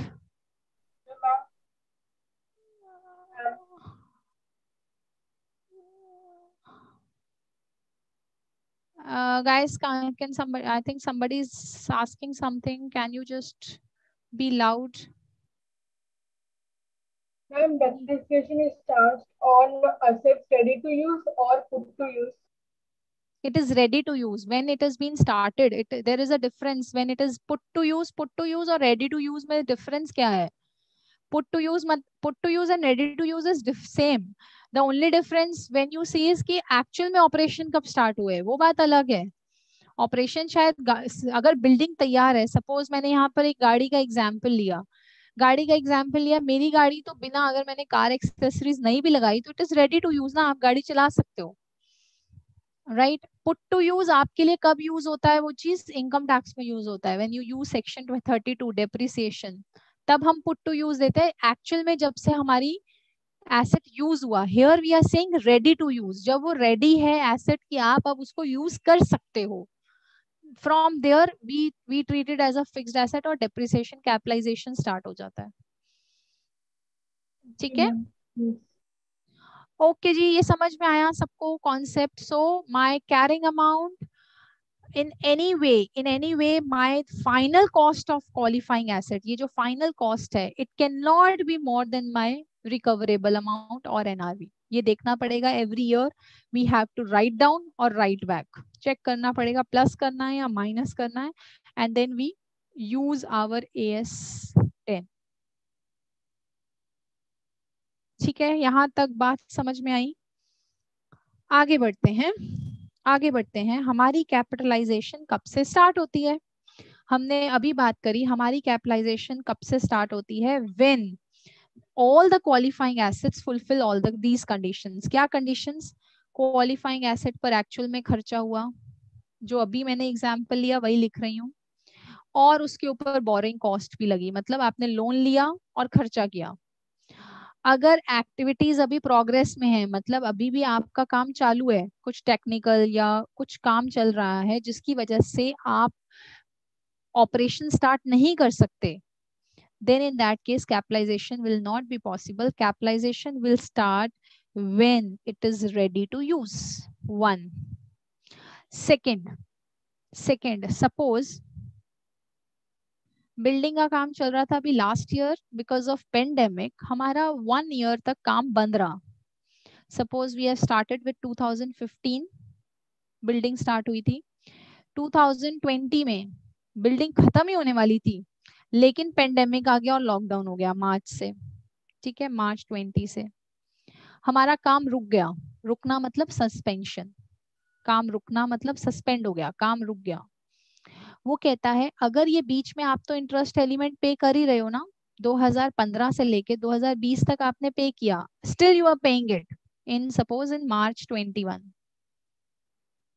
और इन, इसके पूरे बीच में व्हाट हैपेंस इज़ मार्च 20 से लेके मार्च 20 से लेके नवंबर 20 तक काम ही नहीं हुआ। अगर काम होता तो शायद बिल्डिंग पूरी भी हो जाती। बट काम ही नहीं हुआ। काम क्यों नहीं हुआ? क्योंकि लॉकडाउन था। बट बैंक वाले तो इंटरेस्ट ले रहे थे। अभी इसका क्या करें? क्योंकि बिल्डिंग हम क्वालिफाइंग एसेट बोलते हैं, जो रेट उसमें प्रोग्रेस काम चल रहा हो और आपकी बोरिंग कॉस्ट भी चल रही हो तो हम उसको क्वालिफाइंग एसेट का पार्ट मानते हैं कॉस्ट का। But here during this period, from march 20 to november 20 there was a complete lockdown and there was no work to be done काम सस्पेंड हो गया था, रुक गया था हॉल्ट पे था। So that is called as suspension of capitalization वो कहता है सच काइंड ऑफ़ सस्पेंशन अगर कोई ऐसा काम रुक जाए ड्यू टू अवॉइडेबल रीजंस और due to unavoidable reasons lockdown होना इज़ अनअवॉइडेबल रीजन क्योंकि हर जगह बंद था। There is no raw material only which is been supplied बाद में तो चलो खोल दिया था कंस्ट्रक्शन uh, के लिए but I am taking an example unavoidable it's the unavoidable causes because of which you cannot start a development आप कर ही नहीं सकते अगर तो unavoidable reason है आप कुछ नहीं कर सकते तो प्लीज़ ये वाले पीरियड का भी इंटरेस्ट कैपिटलाइज होगा can be a part of my asset it has to be a part of my asset. But if halt is because of avoidable reason, जैसे परचेज डिपार्टमेंट वालों का रॉ मटेरियल का जो calculation था, वो गलत था मटेरियल कम हो गया लेबर फ्री बैठी है, गलती किसकी? परचेज डिपार्टमेंट की। This is avoidable reason labour strike पे है because they have not been paid last six months के arrears avoidable reason right so where the active development is interrupted which is called as avoidable जो company खुद उनके हाथ में है, जो वो कर सकते हैं that is called as avoidable वो कहते हैं, तुम्हारी वजह से है ना you have to pay a penalty तो जितना भी टाइम तक सस्पेंड रहा काम, वो पार्ट को, वो पार्ट को आप कैपिटलाइज नहीं कर सकते।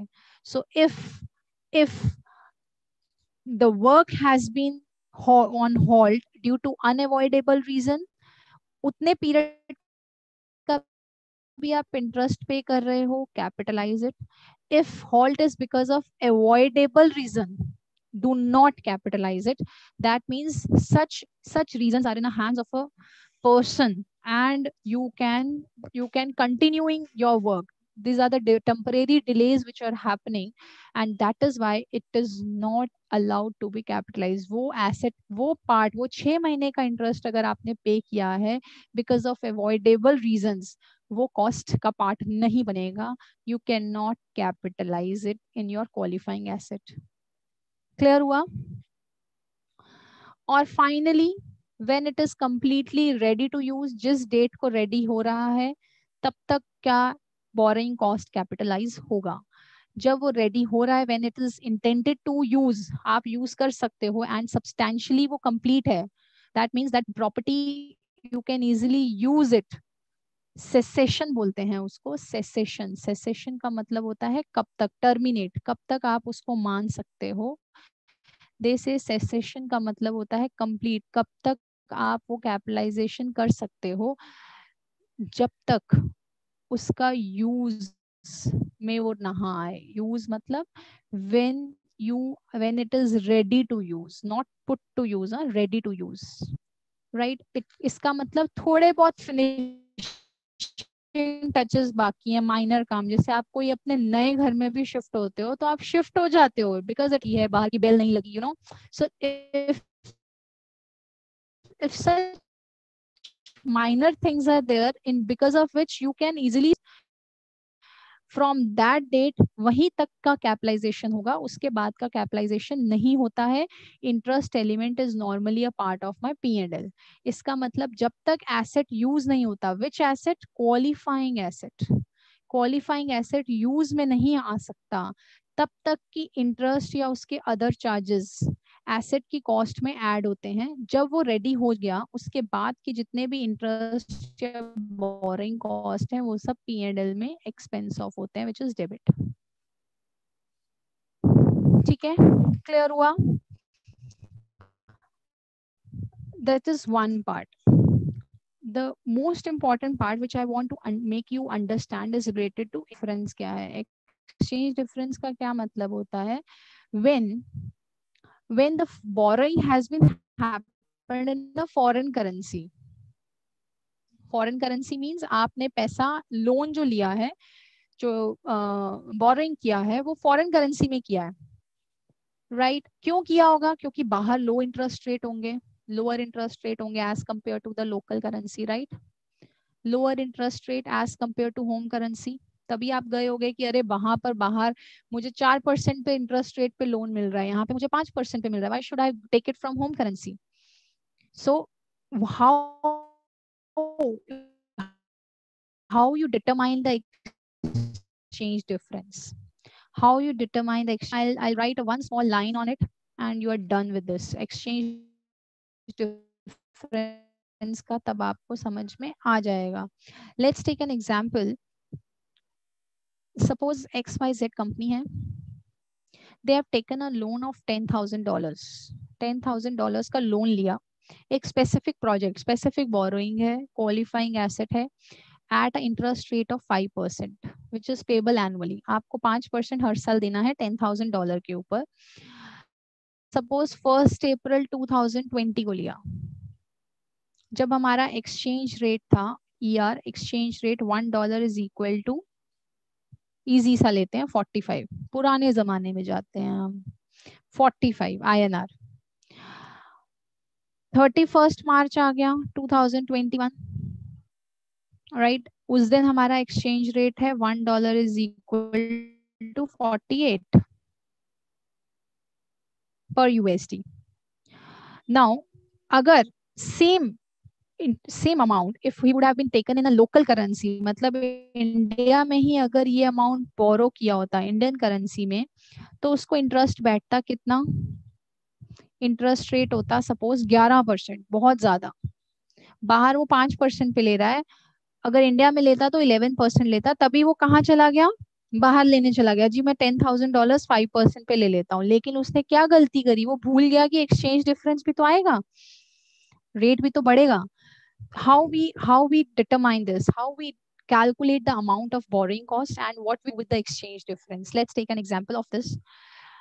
Suppose अगर उसने सेम अमाउंट लोकल करेंसी में लिया होता तो what would be his interest interest for the period in local currency how much interest he would have paid same day pay if he would have taken the amount amount of loan in local currency India में उसने लिया होता तो ten thousand dollar उस दिन price चल रहा था फोर्टी फाइव रुपीज़ का। देखो एक्सचेंज रेट फ़र्स्ट अप्रैल को जब उसने लिया तो इसका मतलब उसने साढ़े चार लाख रुपए का लोन लिया।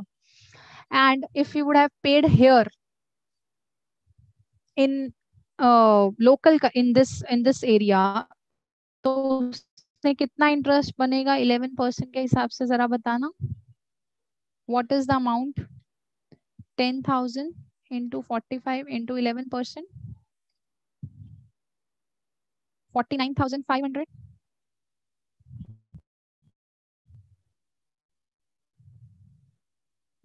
Forty-nine thirty first March को ध्यान से देखना थर्टी फ़र्स्ट मार्च को उसने फॉरेन करेंसी में इंटरेस्ट पे किया होगा एक साल के बाद इंटरेस्ट पे किया होगा फॉरेन करेंसी में। What is the interest amount which has paid on on the on the date when it is been paid ten thousand dollars के ऊपर फाइव परसेंट और थर्टी फ़र्स्ट मार्च को कितना? फोर्टी एट का balance है। What is the amount ten thousand into forty eight into five percent it's coming twenty four thousand rupees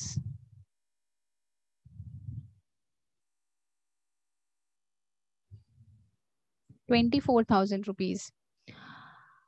Now, the principal amount has also repayment has also increased क्योंकि उसकी liability बढ़ गई 31st March को there is an increase in liability as well why increase in liability has been increased because 45 पे उसने वो loan लिया था अभी 48 हो गया इसका मतलब तीन रुपए से उसकी liability भी बढ़ी so 10,000 के ऊपर 48 हो गया मतलब तीन रुपया लाइबिलिटी भी बढ़ी thirty thousand rupees in short अगर वो फॉरेन करेंसी में इंटरेस्ट पे बोरिंग करता है तो एक तो उसको एक्सचेंज डिफरेंस की वजह से लाइबिलिटी बढ़ जाएगी।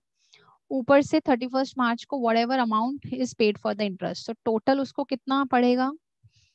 फिफ्टी फोर थाउज़ेंड और अगर उसने लोकल करेंसी में लिया होता तो कितने का बैठता? Forty nine thousand five hundred right forty eight नहीं लिया। क्यों नहीं लिया? फोर्टी एट क्योंकि आईएनआर में लेता तो थोड़ा ना फोर्टी एट का रेट लगता, वो तो सेम पे ही चलता ना। अगर आपने आज सपोज़ दो लाख का इंटरेस्ट लिया, आपको कोई लेना देना ही नहीं था एक्सचेंज डिफरेंस का। क्यों? क्योंकि आप दो लाख पे इंटरेस्ट पे करते। हैं चाहे कितना भी हो you don't need to bother about the change of exchange rate when you are taking when you are taking the loan in INR same concept है और ten thousand into forty five into eleven percent इसका मतलब fifty four thousand he is paying he has a liability to pay if it was taken in a foreign currency and if it is in a local currency he must have paid 49500 borrowing cost कहता है मैं कितना recognize करूँगा whichever is less local currency 49500 this is going to be recognized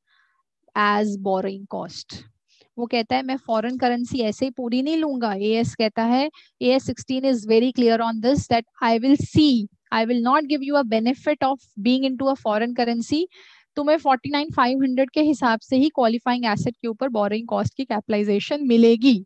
So what about the rest amount 4500 बोलता है, वो तो तेरा एक्सचेंज डिफरेंस है। जाओ ए एस इलेवन में। Exchange difference account that would be the exchange difference account. ठीक है, so they will only, they will, whatever they say they say that ma'am why two rates five percent and eleven percent देखो why two rates five percent आप suppose Singapore जाके interest आप Singapore जाके loan लेते हो तो आपको interest बैठता है फाइव परसेंट बट कितने पे? दस हज़ार डॉलर पे। ये आपको एसबीआई वाले इलेवन परसेंट इंडिया में दे रहे हैं। वो फाइव परसेंट का रेट बाहर का है, जहाँ से आप लोन ले रहे हो।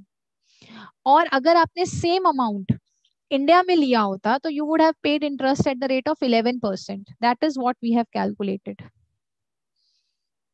ठीक है क्लियर हुआ?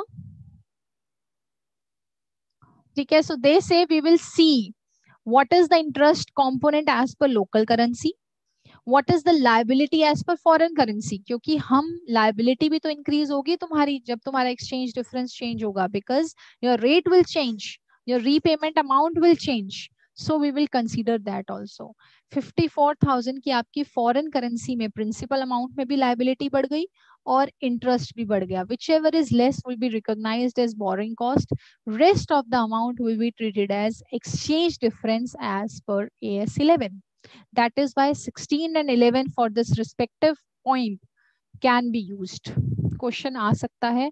मे ट्वेंटी वन के आर टी पी में इसका क्वेश्चन है भी।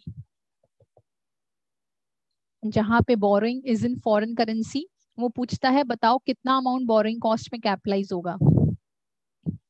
ठीक है so here we can use that amount is it clear guys any doubt जल्दी से बताओ मुझे। Any doubt till here 4500 will be treated as AS11 exchange difference account. AS11 अभी हमने पढ़ा ना? वहाँ पे जाएगा ये। Okay this very important concept जितने हमने 11 12 और 16 किए हैं 11 में आपका एक्सचेंज फॉरवर्ड कॉन्ट्रैक्ट का मुझे पॉइंट अच्छा लगता है इंस्टीट्यूट का शायद फेवरेट हो सकता है। 12 में ग्रांट्स ग्रांट्स के अंदर if there is a specific grant जहाँ पे फिक्स्ड एसेट माइनस ग्रांट करते हैं ना फिक्स्ड एसेट अकाउंट के कॉन्सेप्ट में, वो मुझे अच्छा लगता है। They can ask what kind of subsidy it is and in this A S sixteen excellent combination of A S sixteen and eleven तो फॉरेन एक्सचेंज के ऊपर अगर क्वेश्चन बनता है बिकॉज़ आई बिलीव क्वेश्चन आएगा। Okay so it's not only about that I know the paper it's nothing like that but yes we can see the trend ना। आपको मालूम है, आपके एयर्स बहुत ज़्यादा लिमिटेड हैं तो हमें मालूम है कि कौन सी चीज़ आपके लिए इंपॉर्टेंट हो सकती है। And these are the things which generally students leave कि छोड़ो यार, ये तो समझ नहीं आ रहा है। So please don't leave this aspects you can revise it from your rtp you can revise it from your study modules and this is the only one concept which is uh, which is actually a very uh, you know very small concept गया तो आपको पाँच minute भी नहीं लगेंगे paper में solve करते हुए I don't think so so I cannot say F M T I D आएगा या नहीं आएगा बट ए एस इलेवन में उसका इतना रेलिवेंस आपके इसमें ज़्यादा कवर्ड नहीं है okay only one part is covered की F F M T I D A बनता है। Okay so again volume decrease अरे, मैंने तो कुछ नहीं किया यार। वाइट इज़ कमिंग ओके ठीक है सो इंडेस का पार्ट ज़्यादा है। But yes please revise all these things you have hardly seven eight S and cash flow statement और इन्वेस्टमेंट ये सब तो ऑलरेडी चैप्टर्स हैं क्वेश्चन आएगा या आता ही है उसमें से। Apart from that you have these three four A S which is there two ten eleven twelve and sixteen पाँच ही ए एस हैं apart from your C F S and investment one तो ठीक है it's just a matter of five minutes for you as a revision last minute revision की बात कर रही हूँ मैं। ठीक है disclosures what disclosures they do they disclose the policy and they disclose the what is the amount to be capitalized capitalized amount. Detail. Kitna borrowing hai and what is the policy which they are following. Policy means kitne qualifying assets hain aur kitna capitalized amount ready hai. Is it clear? Good to go? Everyone? Yes ma'am. Okay ji do you have any doubt on the capitalisation rate जो हमने general borrowings की बात की है, कितना capitalise होना चाहिए? Is it do you want me to do any example on that जो हम लोग कैपिटलाइजेशन रेट निकालते हैं will you be able to calculate that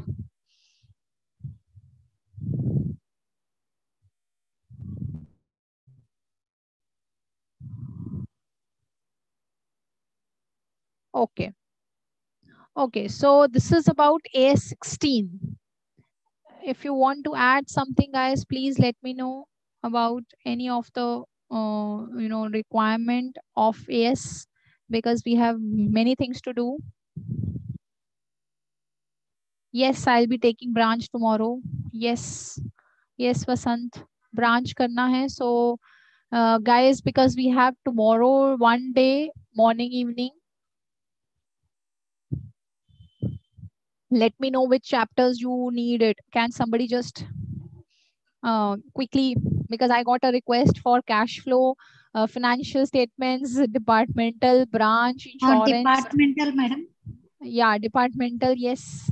Loss of stock in that one and uh, just brief about the investments and uh, that, uh, sorry your voice is breaking. that investments part and all just to introduction part like how to transfer that profit and all? When we say the I rights shares hear and all. voice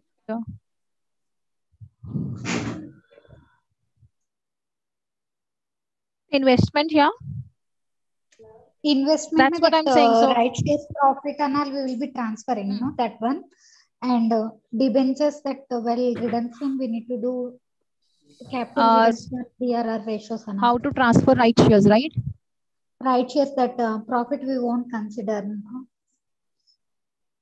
when the renouncement we sold no that time. Yeah yeah. So you are talking about dhanlakshmi. I'll just explain yeah So yeah yeah. that's what i'm saying. if, if they renounce the right shares or if you if they don't renounce it. Yeah. Like tomorrow this can you please cover it like a for it you- for that part for that adjust yeah only that adjustment part like uh, in preferentials how will transfer Yeah, the CRR no that one only that adjustment part not the complete part. Okay. And the DRR that Okay. 15% and okay uh, fair enough.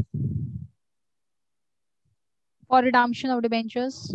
Yeah that way will be non-listing company will be need to Okay. do the 15% and all that one. Yes yes. Okay. Okay fair enough. Okay guys i think uh, uh, we'll not be able to let me just फटाफट से quickly insurance का थोड़ा सा part start करवा दूँ is it good to go for you all चलेगा insurance का एक पार्ट छोटा सा कवर करा दूँ Uh, uh, Hmm. before starting the new topic, uh, Hmm. आपको कुछ थोड़ा सा अर्जेंट वर्क है ना कल tomorrow? Yeah, sir. So uh, in the morning, I have some work. So uh, can we just, uh, you know, mm, how can we just reshuffle it or uh, tomorrow and day after I can take a few of the lectures? आपको जैसा चाहिए सकते वैसा हैं। कर सकते हैं, लेकिन थ्री टू फाइव नहीं मत लेना अच्छा थ्री टू कल। फाइव नहीं लूँ ओके सो कल we three to five can या ऐसे। Keep it okay so we can keep it 5:30 से रख सकते हैं ना 5:30 टू 8:30 रखते हैं एक सेशन थ्री आवर्स का रख देंगे कल। एंड देन संडे को भी तीन घंटे का रख देंगे फाइव की जगह सिक्स आवर्स कवर कर लेंगे जैसे आपकी मर्ज़ी जैसे आपकी मर्ज़ी कोई ठीक दिक्कत है नहीं you and students Is it okay, guys? All okay for tomorrow, 5:30 to 8:30, and then we can meet another three hours on Sunday. So we have good time. पाँच घंटे की जगह हमें छह घंटे मिल जाएँगे. Okay, madam. Yeah. Okay. okay So so then then you have a small adjustments of investment DRR. वो हम कोशिश करेंगे quickly ऐसे ही cover करने की. एंड संडे के लिए सिर्फ़ टेन टू टू का स्लॉट छोड़ के कुछ भी हो तो बता देना Uh, Sunday will be after four. I have a perfect perfect perfect yeah after we are four. Having one mega mega session अच्छा. Of WRC and And Vikas one more thing, like for it, uh, investment like miniature is going to come.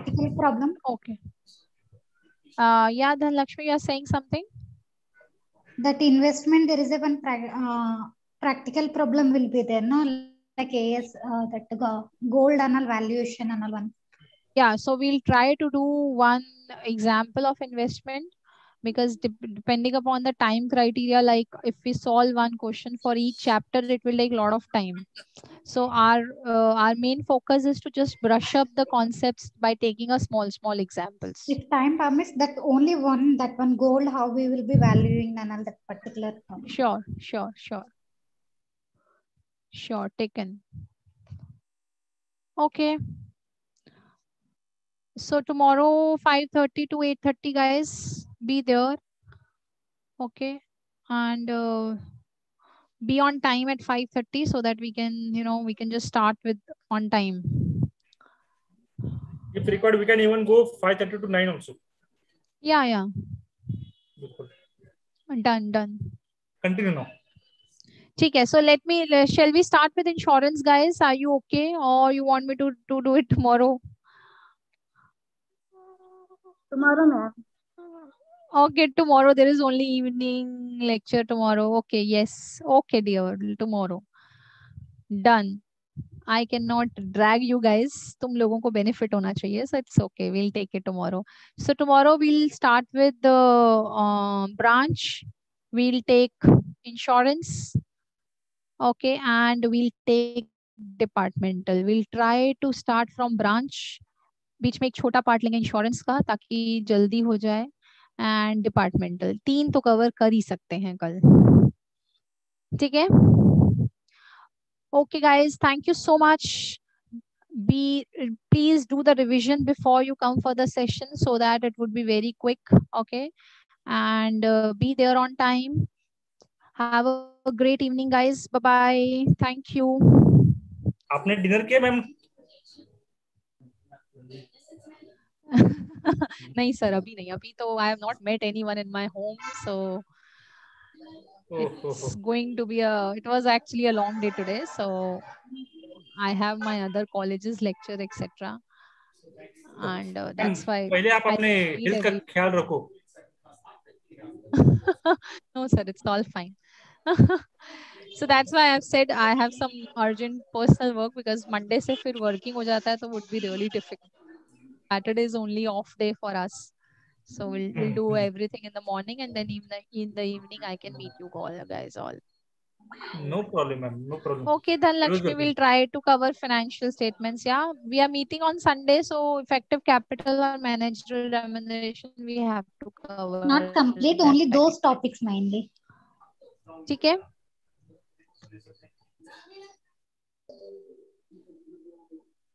Yes yes financial statements में these are the only topics we are we are uh, you know we have put it in a uh, list क्योंकि यही दो आते हैं so mainly यही दो चीज़ें हैं जो नहीं है reserves effective capital and managed remuneration so we'll be covering that on Sunday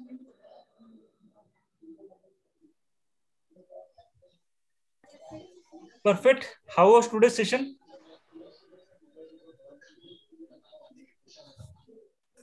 Hello. So good session, sir. It is very good. Okay. Thank you, everyone. Thank you, ma'am.